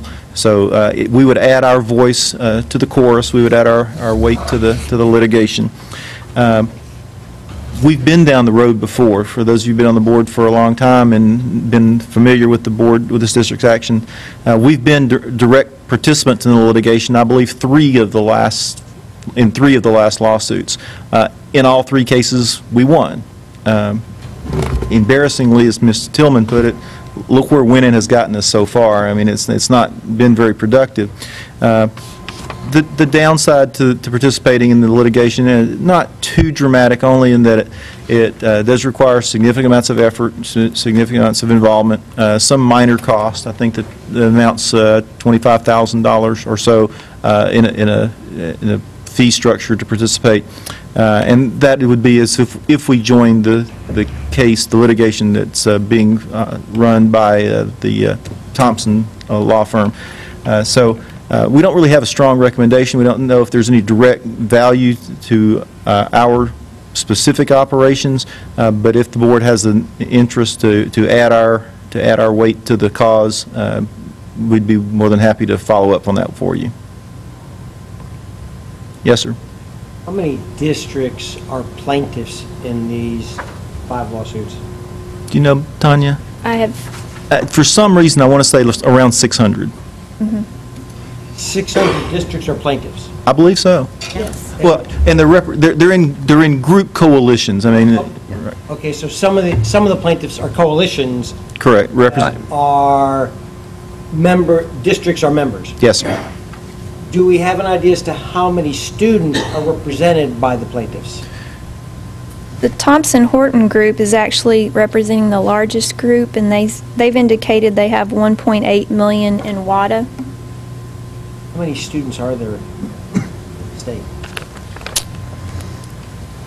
I can look it up, but it'll take a while. Um, Several million. Right. I I think that i- the 600, if I'm correct on the 600 students, that's over half school, of the school 600 districts. districts. 600 districts, The school yeah. districts. I believe the Thompson Knight Group represents most of the large school districts, so the number of students represented are, sig- is a a significantly higher percentage than that.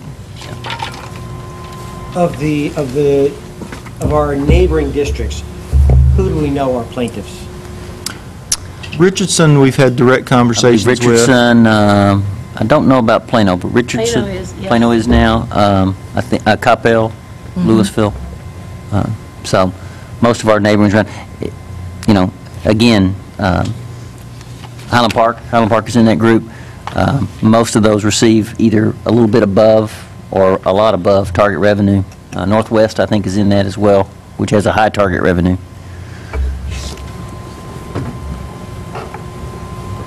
what it's worth, I'm hard pressed to see how if CFB becomes a plaintiff, that changes anything.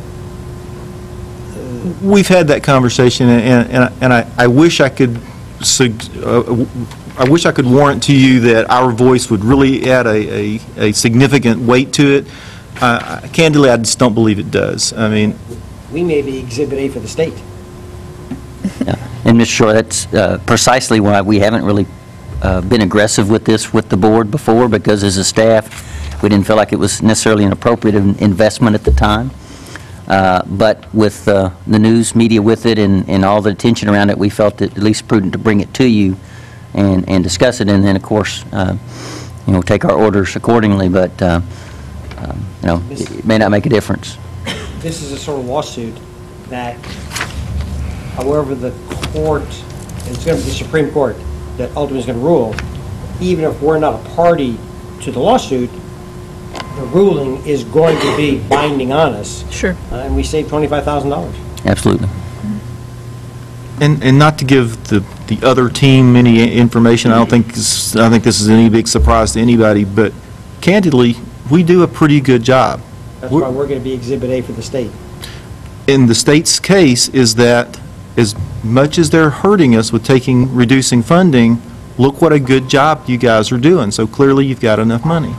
I'm not sure, I'm not sure we want to wave our flag real, real high. Any other questions or comments from the board? Thank you, Ms. Tillman. Thank you, Mr. Hyatt. Thank you. Thank you, Dr. Burns. Item 2D, report from the School Health Advisory Council.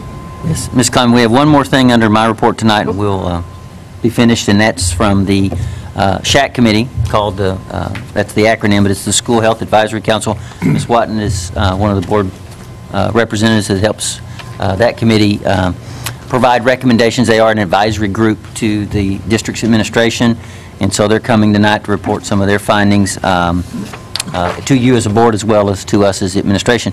And I believe Ms. Beth Mott, now Beth, are you, is going to do the report for us. So Beth? Yes. Good evening. I'm Beth Malk. I'm the co-chair of the School Health Advisory Council. It's also known as SHAC. Title II, Chapter 28, Section 28004 of the Texas Education Code mandates that the School Health Advisory Council give an annual report to the board, school board. SHAC is composed of a group of individuals representing segments of the community appointed by the school district to serve the district at the district level and provide advice to the school district on coordinated school health programming and its impact on student health and learning. Coordinated school health is based on an eight-component model. Health services, nutrition services, healthy and safe school environment, counseling and mental health services, staff wellness promotion, parent and community involvement, physical education, and health education. SHAC provides an efficient and effective structure for creating and implementing age-appropriate sequential health education programs and early intervention and prevention strategies that can easily be supported by local families and community stakeholders. This year, SHAC discussed the topics of bullying and bullying prevention, a parent and community survey, and the impact of human sexuality and education. Bullying is an issue all schools are addressing these days. According to bullyingstatistics.org, national statistics show that over half, or 56%, of all students have witnessed a bullying crime take place while at school. A reported 15% of all students don't show up for school report it's because of a fear of being bullied while at school. And about one in every 10 students drop out or change schools because of repeated bullying. Talk About It, formerly known as ANCOM, is a program that is available school district-wide where staff and students are trained to use cell phone, text messaging, and other computer-assisted technology to anonymously report on to- such topics as bullying, drugs, alcohol abuse, pregnancy, and suicide, just to name a few. The Parent Community Survey was compiled and included in your review, focusing on the eight-component model of coordinated school health. It is SHAC's goal to assure that parent and s- community concerns are heard and addressed. Lastly, through the implementation of our school district's curriculum, Choosing the Best Big Decisions, the parenting program, pregnancy rate among teens in CFB-ISD has decreased 20%. The School Health Advisory Council would like to make the following recommendations. All students are to be trained on income during the first week of school orientation.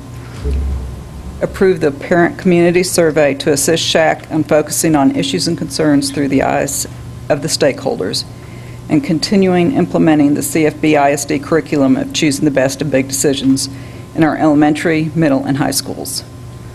Looking to next year, a goal of SHAC will be to collaborate with other school districts who have implemented a substance abuse awareness program for extracurricular activities. And I'll now take any questions you may have.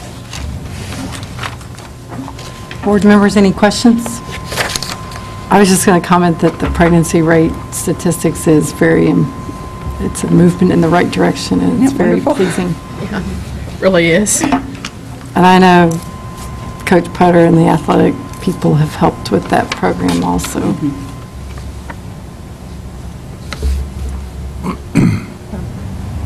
And Ms. Watton, we appreciate your Um, I service. I uh, provided a hard copy of the um, survey for each of the board members and the administrators, so they have an opportunity to look through it, and um, we definitely would like to help. see something. Yes, and Beth, we thank you and, and the members, if there are other some members out there of the shack, would you stand up? We appreciate your involvement in that. Um, We know it's a, a lot of work and, uh,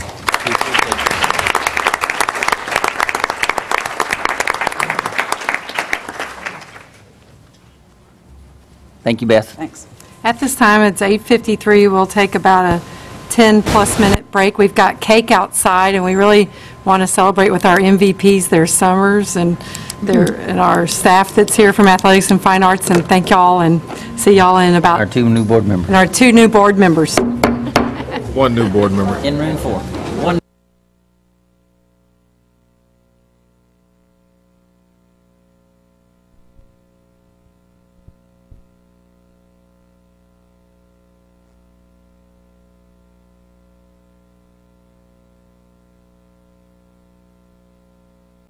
Eating lunch, I'll be right on over.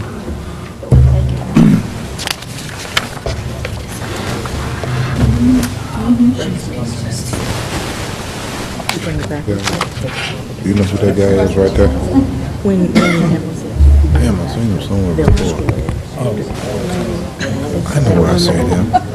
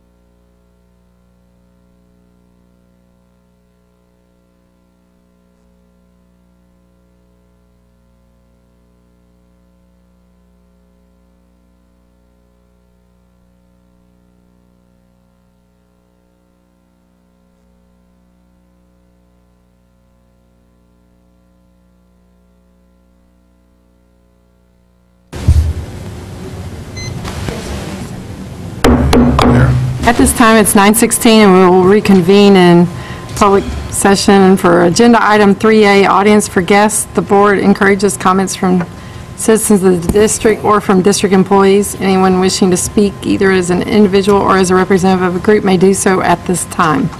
The board asks that comments pertain to public education issues and be no longer than three minutes. Please remember that the board may not discuss or act on any issues that are not posted on our agenda for tonight's meeting. And um, at this time, I forgot to announce audience for guests before we took our last break. So if there is anybody that has any additional audience for guests, Ms. Sharon Scrivener, you may fill out the form that is outside the door and give it to Ms. Sharon Scrivener. But at this time, I do have one form. It is um, Ms. Tarpley, you have registered to speak, and um, we're ready now if you'd like to go. Or would you rather go after the consent agenda? Give old lady time to get up, though. You know, I don't move as fast as I used to. Can somebody show me the old lady? Thank you, thank you. God bless you, sir. Okay, uh, Mrs. Rachel Lewis and I were discussing total diversity in the Carrollton Farmers Branch Independent School District, and we were wondering, when the school budget of approximately $300 million plus was voted on and passed, if there were any plans in place to make certain that vendors that supply goods and services to the school district reflect the demographics of the citizens of the city of Carrollton and Farmers Branch as a whole, especially since we are now a majority minority school district. After all, diversity all around is an important element and is necessary in order to have an appropriate balance in any organization, including school districts. In the very near future, we would like to have a breakdown of the vendors used in the district and how many vendors are minority businesses, meaning those that are owned and run by minorities. We would also like to know when Carrollton Farmers Branch started using these minorities-owned businesses and what methods are used to advertise for goods and services that are needed for the district. After all, now we have heard that somehow when the advertising is done, that minorities are not given notice of this, and if they don't have notice of it, they cannot put in a bid for the goods and the services that the district use. And I am sorry, I am Shirley Demas Tarpley, standing before you, living at 1507 Milam Way in Carrollton, Texas, for over 40 years. Thank you. Thank you, Ms. Tarpley. Ms. Philbott. Ms. Scrivener, are there any other audience for guests at this time? Um, So we will move to item 3B, consent agenda. The consent agenda is a mechanism that the board uses to approve a number of routine items together with a single vote. These items are routine in nature, and the board has had ample information in advance about these items. 3B1, election of personnel. 3B2, consider approval of temporary disability leave, one of two. 3B3, consider approval of temporary disability leave, two of two. 3B4, review TASB Update 93 legal policies and add, revise, or delete local policies as recommended by TASB Policy Service and District Administrative Staff, first reading. 3B5, consider proposed changes for policy DIA local as recommended by TASB Policy Service and District Administrative Ta- Staff, first reading. 3B6, consider proposed changes for policy FB local as recommended by TASB Policy Service and District Administrative Staff, first reading. 3B7, consider out-of-state travel request for Newman Smith speech debate team to travel to Indianapolis, Indiana, June 10th to 17th, 2012, to attend the National Forensic League National Speech Debate Tournament. 3B8, accept financial report for April 2012. 3B9, consider time, place, and location of a public meeting to discuss budget and proposed tax rate for the 2012-2013 budget year. 3B10, consider appointment of tax assessor and Anna Brady to calculate rollback tax rate and publish notice of public meeting to discuss the 2012-13 budget and proposed tax rate. 3B11, consider all matters related to wealth equalization, including executing an agreement for the purchase of attendance credits.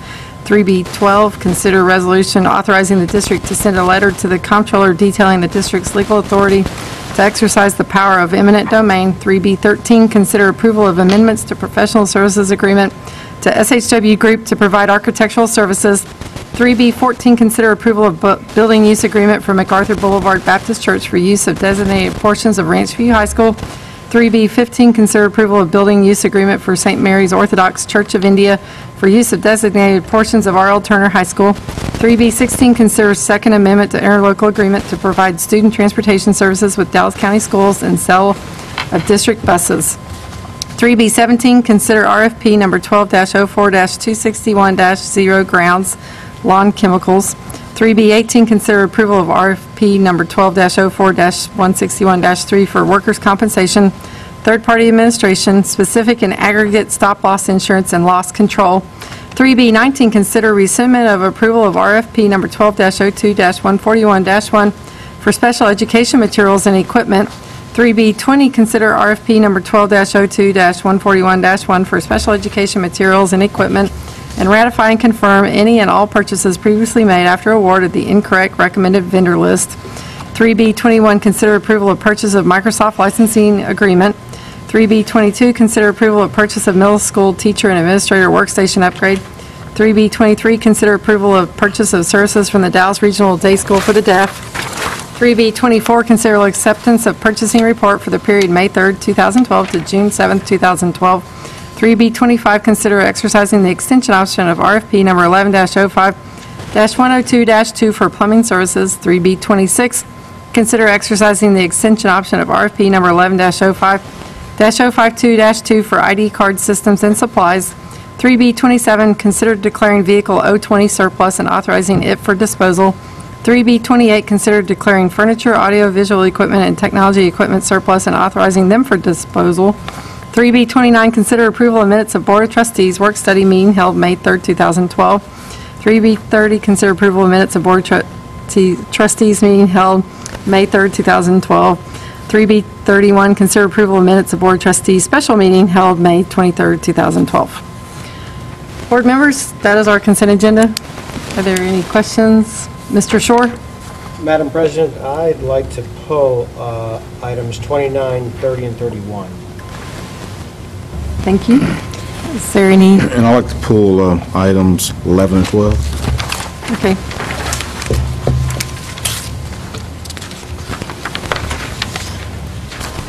Any other items? Mr. Fleming? Yeah, I just want to get a little better understanding exactly on number 11, consider all matters related to wealth equalization, including executing group. Yeah. Um, Can we go ahead and take a vote on the consent agenda minus the items I, That's fine. is there a, Um, Ms. Klein, I'd like to recommend that we approve the consent agenda as amended with these, i- with these items removed. Mr. Shore? All those in favor of the remaining items on the consent agenda? That is unanimous. Thank you. Mr. Fleming, I'm sorry. Go ahead.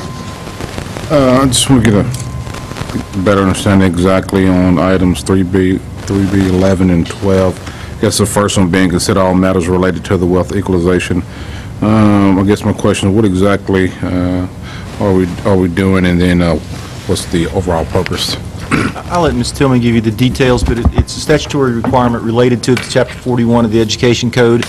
And originally, and Ms. Tillman, I- I'll probably go way too far down the road, then you can tell me to back up, but originally, if we were, uh, uh, if our wealth per student, based on our taxable values, is over a certain threshold, and the original number was like $340,000 per kid, anything, if we had more than that, then some of the money we had to send back to the state. Right. That's the old Robin Hood chap, rules and and laws.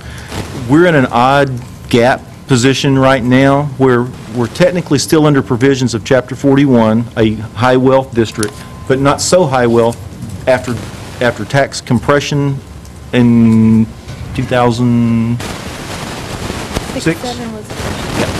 uh, after that, uh, we're not so high that even though we're Chapter 41, we don't s- actually send any money, but we're still required to send in the letter, say, if we have to send in money, if our situation changes, what is the vehicle and mechanism that we're going to do? Because there's four different vehicles to do it. Ms. Tillman, anything else you'd like to add? No, this is, this is the same option that we elected in previous years. I'm good. Thank you for that. Sure.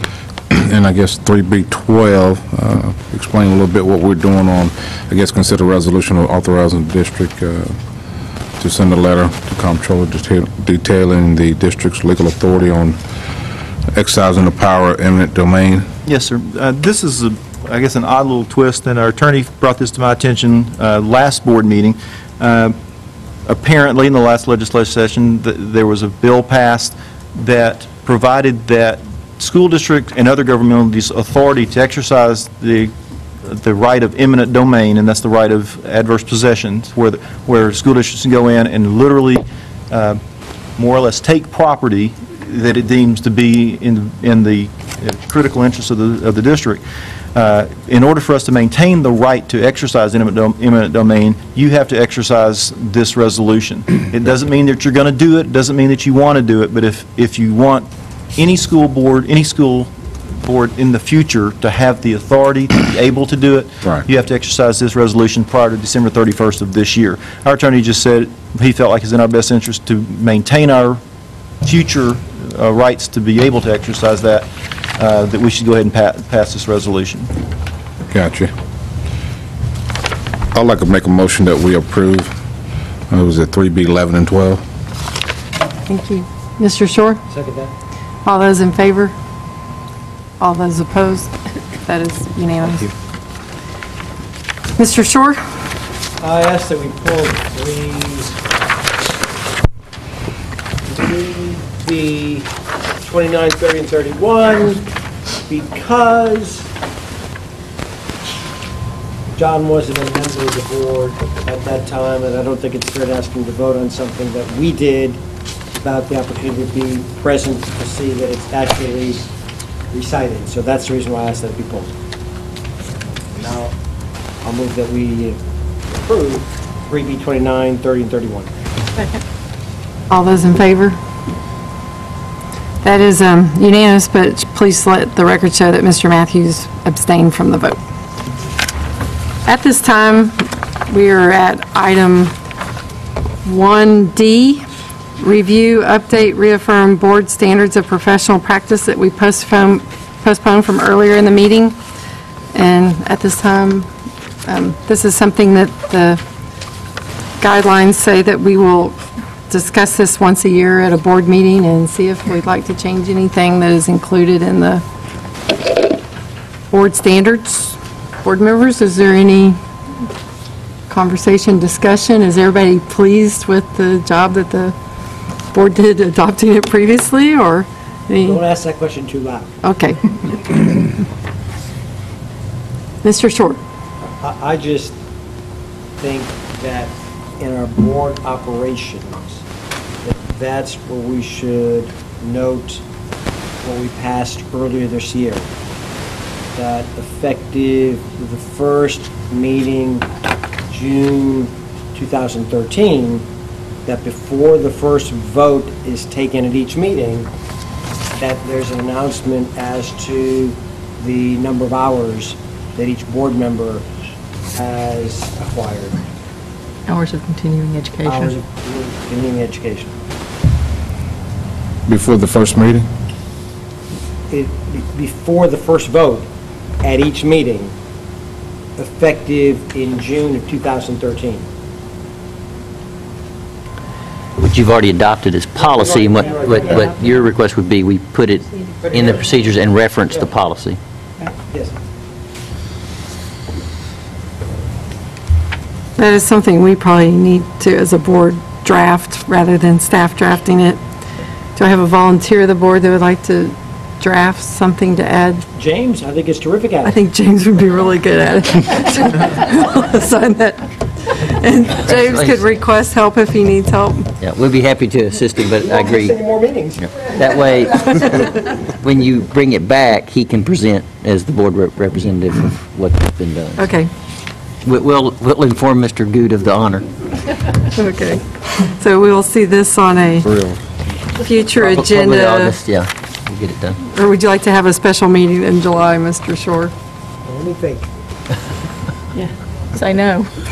No. I think not this time. Okay.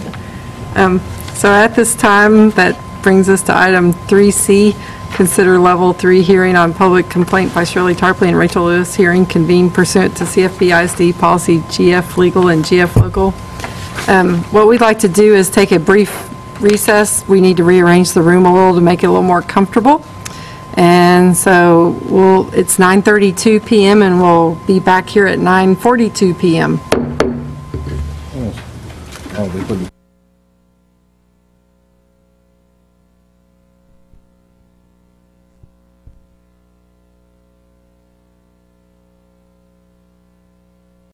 Farmers Branch Board of Trustees at 9:42 PM. And um, today is June 7th. The purpose of this meeting and agenda item 3C is for the Board of Trustees to consider in accordance with the Texas Education Code and Board Policy GF, the grievance of Shirley Tarpley and Rachel Lewis. Ms. Tarpley and Ms. Lewis requested this appeal in writing and are present at this proceeding. Mark Hyde, Associate Superintendent for Administrative and Support Services, is presenting the administration's position. My name is Nancy Klein, President of the Board of Trustees, and I will serve as the presiding officer. Members of the Board of Trustees present are Frank Shore, John Matthews, Lynn Chaffin, Richard Fleming, and Nancy Watton.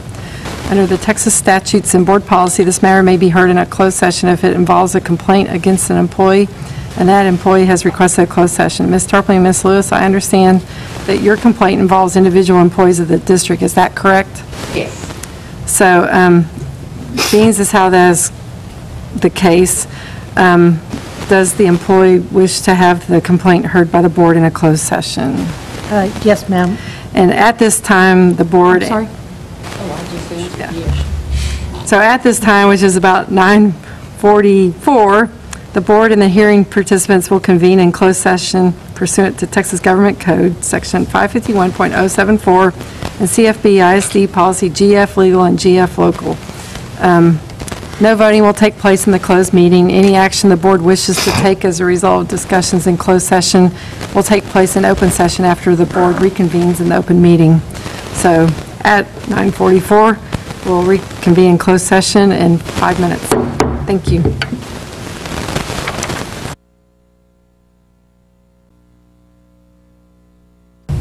Six, four, seven.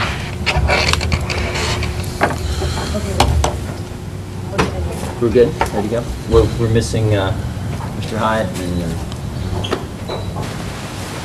have others that may want. Sheila. Can you get Mark? Just, just chill.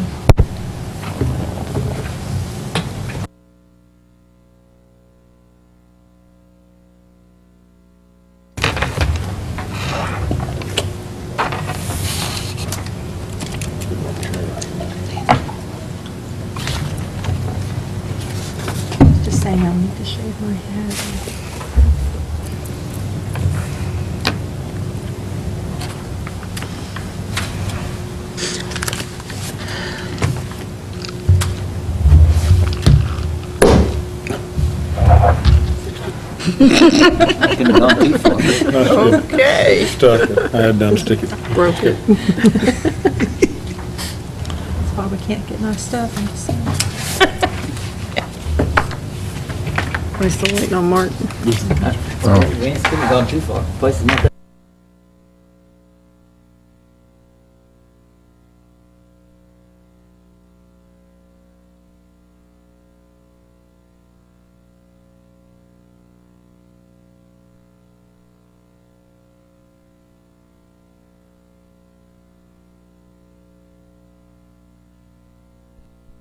Its decision on the grievance.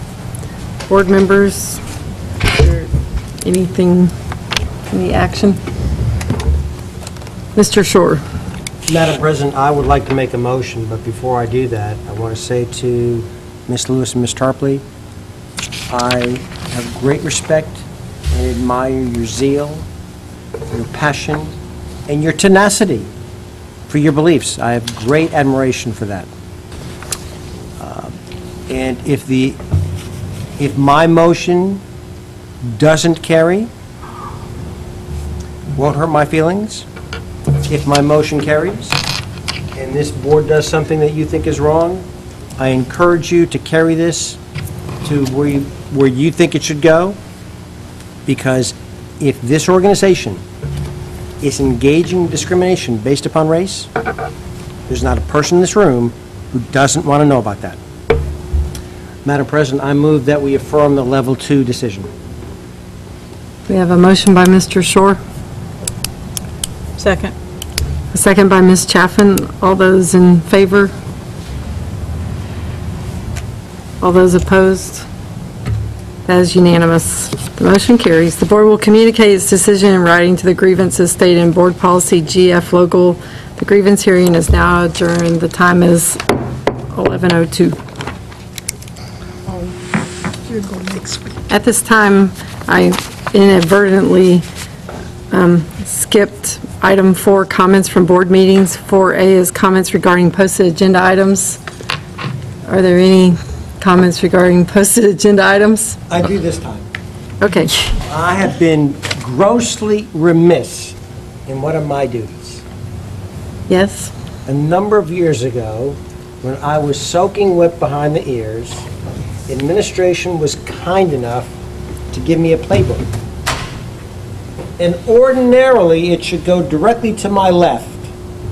But I think I would be grossly, grossly remiss in my duties if at least for one more meeting, I didn't hand this to someone who earned it two years ago. Can, can I just ask how that was a posted agenda item? Because he was, he was sworn in, and so he's a newly sworn in board member, and so Oh, that's that on the. is Okay, arm- okay, I can, I can go for The that. armband. So now you have all the acronyms for all the stuff that the educators talk about. You just go to your wrist and you can look that stuff up. It includes about 50% of it. Okay. Wow. You may get called for delay of game, but Yeah, y'all be on a new agenda item. Is is that it, Mr. Shore? Yes, it is. And, and when you finish with it, you'll pass it over. John probably doesn't know it. Doesn't need it. Item six, so we did that. So we had item, we done with six? By your So we're at item seven. By my determination, we've reached the close of our meeting at 11:03. Done. 11:02. Uh, board members, before